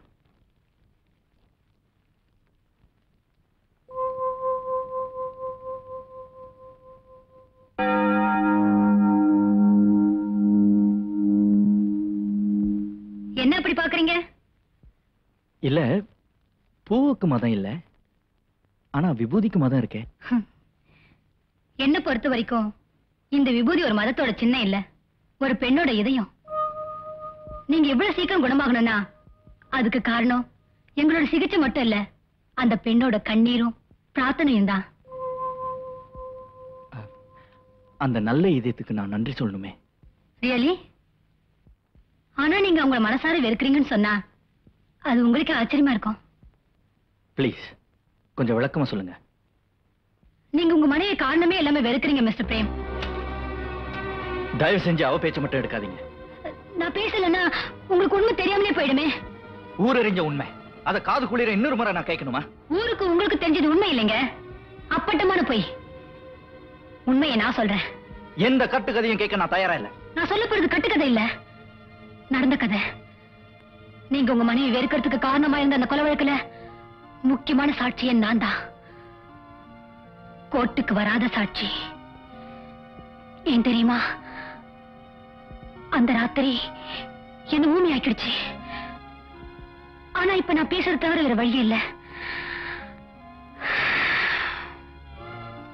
வழக்கமா டியூட்டி முடிஞ்சு ஏழு மணி பஸ் பிடிச்சு வீடு போய் சேர்றேன்னா சம்பவம் நடந்த அன்னைக்கு நைட் டியூட்டி நர்ஸ் லேட்டா வந்ததுனால ஒரு மணி நேரம் கழிச்சு பஸ் ஸ்டாப்புக்கு போய் சேர்ந்தேன். அவசர அவசரமா பஸ் ஸ்டாப்புக்கு வந்தனா அடுத்த பஸ் எத்தனை மணிக்குன்னு தெரியாம தவிச்சிட்டு நின்னப்ப தற்செயல என் கவனம் எது பஸ் ஸ்டாப்புக்கு போச்சு? அங்க தொழிற்சங்க தலைவர் ரெண்டு ஆளோட பேசிட்டு இருந்ததை பார்த்தேன். ரொம்ப நேரமா பஸ்ஸே வரல. அந்த நேரத்துல ஒரு வேன் என்ன கடந்து போச்சு. அதுல இருந்து ரவுடி பசங்க என்ன மறைச்சுக்கிட்டே போனாங்க. எனக்கு கொஞ்சம் பயமா போயிடுச்சு. கடவுளே பஸ் சீக்கிரம் வந்துடுமேன்னு நான் வேடிக்கிட்டேன் அப்பவும் எதிர் பஸ் ஸ்டாப்ல அவங்க பேசிட்டு இருந்ததால எனக்கு ஓரளவு தைரியமா இருந்துச்சு. வேன் மறுபடியும் எனக்கு கடந்து போச்சு. என்னடா இந்த நேரத்துல பஸ் இப்படி கழுத்து இருக்குதேன்னு நான் நினைச்சிட்டு இருக்கும்போது உங்க மனைவி பைக்ல அங்க வந்து சேர்ந்தாங்க. அவங்கள பார்த்ததும் அந்த ஆளுங்க போயிட்டாங்க. அப்புறம் தொழிற்சங்க தலைவரும் உங்க மனைவியும் பைக்ல பரப்பிட்டு போனாங்க. அதையே நான் பார்த்துட்டு இருக்கும்போது என்ன கடந்து போன அந்த வேன் வேகமா என் பக்கத்துல வந்து நின்னுச்சு.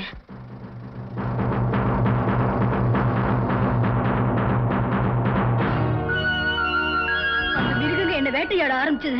தோத்து போயிடுவோமோன்னு அஞ்ச ஆரம்பிச்ச நேரத்துல நம்பிக்கை விட்டுற மாதிரி உங்க மனைவியும் தொழிற்சங்க தலைவரும் வந்த பைக் எங்களை நெருங்கி வந்துட்டு இருந்தது. என்ன காப்பாத்திட மாட்டாங்களாங்கிற ஏக்கத்தோட நான் குரல் கொடுக்க முயற்சி பண்ணேன். ஆனா அந்த தடியனுங்க என் வாயை பொத்திட்டானுங்க. வேலையும் வேற பக்கம் திருப்பிட்டானுங்க. எவ்வளவு போராடியும் என்னால என்ன காப்பாத்திக்க முடியல. அந்த பாவிங்க என்ன கெடுத்துட்டானுங்க.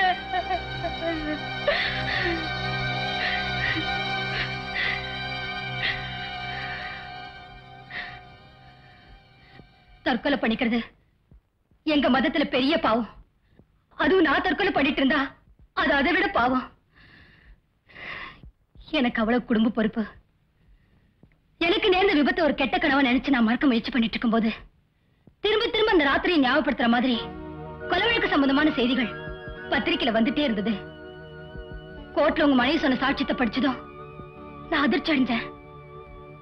நான் கற்ப பறி கொடுத்த அதே ராத்திரி ஒரு பெண் உண்மையை காப்பாத்துறதுக்காக நான் கற்ப பறி கொடுத்ததா பொய் சொல்லியிருக்கா? அந்த தியாகம் என்ன சிலிர்க்க வச்சிருச்சு. எந்த பெண்ணு வெளியிட விரும்பாத ஒரு ரகசியத்தை இப்ப நான் வெளியிட்டேன். நீங்க உங்க மனைவி புரிஞ்சுக்கணுங்கிறதுக்காக. நீங்க அவங்கள அவமானப்படுத்தி வெளியேற்றினதுக்கு அப்புறமா அவங்க இங்கேதான் இருக்காங்க. அதோ அந்த கோயில்ல இருபத்தி நாலு மணி நேரமும் உங்களுக்காகவே பிரார்த்தனை பண்ணிட்டு இருக்காங்க.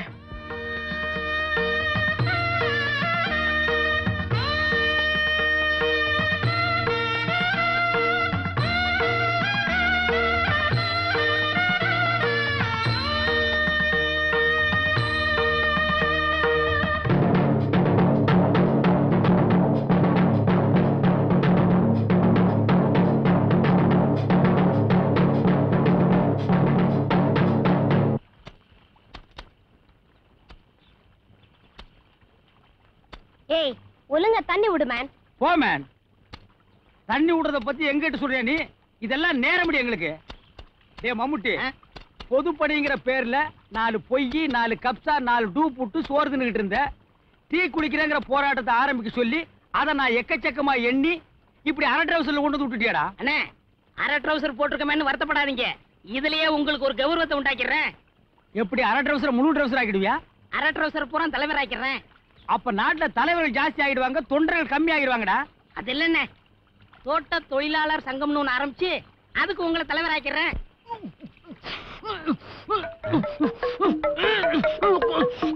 சாமி கொண்டா. அண்ணே. டேய் நம்ம தொழிலாளர் தலைவன் பிரபாகர் மாதிரி இல்ல? ஆமாண்ணே. அவர் ஏன்டா இங்க தூக்கிட்டு போறாங்க? இதுல ஏதோ மர்மம் இருக்கு. கவனி.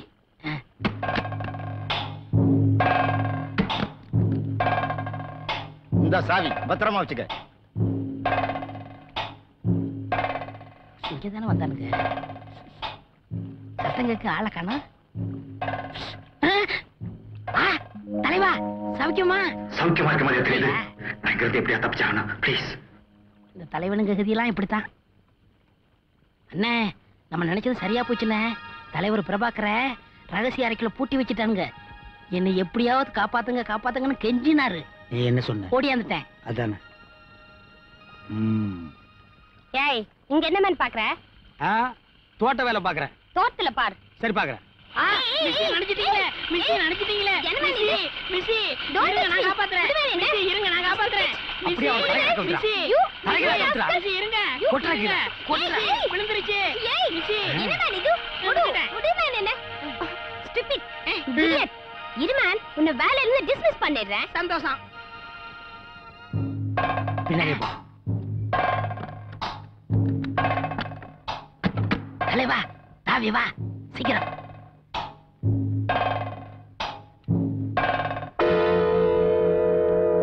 என்னப்பா? நான் தேடிட்டு இருந்த முக்கியமான சாட்சி இவங்க தான் கோழி அமுக்கிற மாதிரி அமைக்கிருவோம்.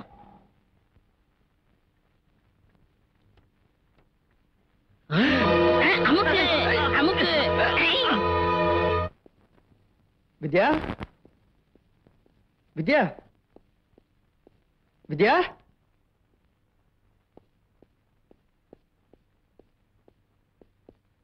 மாப்பிள? என்ன மாப்பிள வித்யாவை இங்க தேடுறீங்க? அவ உங்களோட விட்டு விட்டு போனவதான் அப்புறம் இங்க வரவே இல்லையே. அவளுக்கு என்னாச்சு மாப்பிள? சொல்லுங்க மாப்பிள்ள வித்யாவுக்கு என்னாச்சு? மாமா? ஹலோ? பிரேம்குமார் ஹியா அப்படியா? இதோ வந்துட்டேன்.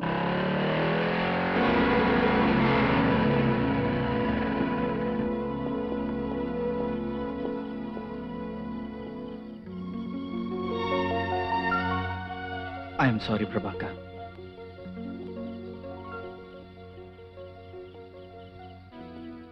மோகனை கொலை பண்ணது யாரு? யாரு? DJ DJ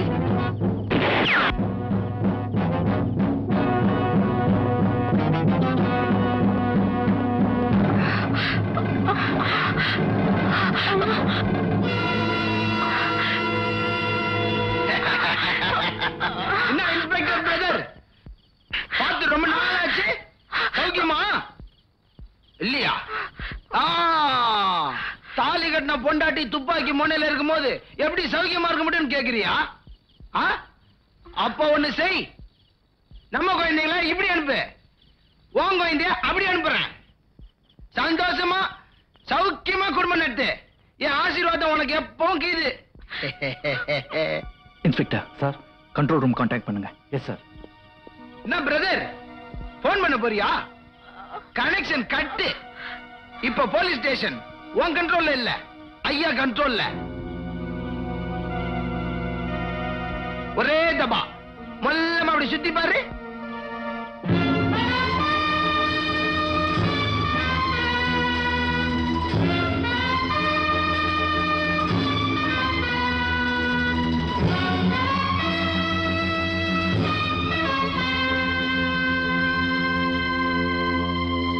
okay right brother ஒய்ங்கா நம்ம ஆளுங்களை அனுப்பிச்சு வைக்கிறியா? இல்ல ஆள பூ பட்டோட மேல அனுப்பிச்சு வைக்கிட்டா? அவன் சொன்னபடியே செய்யுங்க. Inspector sir. அவங்கள கூட்டு வாங்க. எஸ் சார் தெரியாத சுட்டுடுவேன்.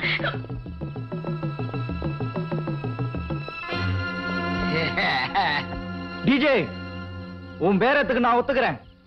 அதான் பிரேம்குமார் டா கைத ஓடாத நீ ஜென்டில்மேன் ஆனா கடைசி வரைக்கும் ஜென்டில்மேன் நடந்துக்கணும் நடுவுல ஏதாவது கோல்மால் ட்ரை பண்ணு மாவன எல்லாரும் ஆவியா இதே ஸ்டேஷன்ல லோலோன்னு அலைவீங்க ஓகே ரைட் கோ போங்கடா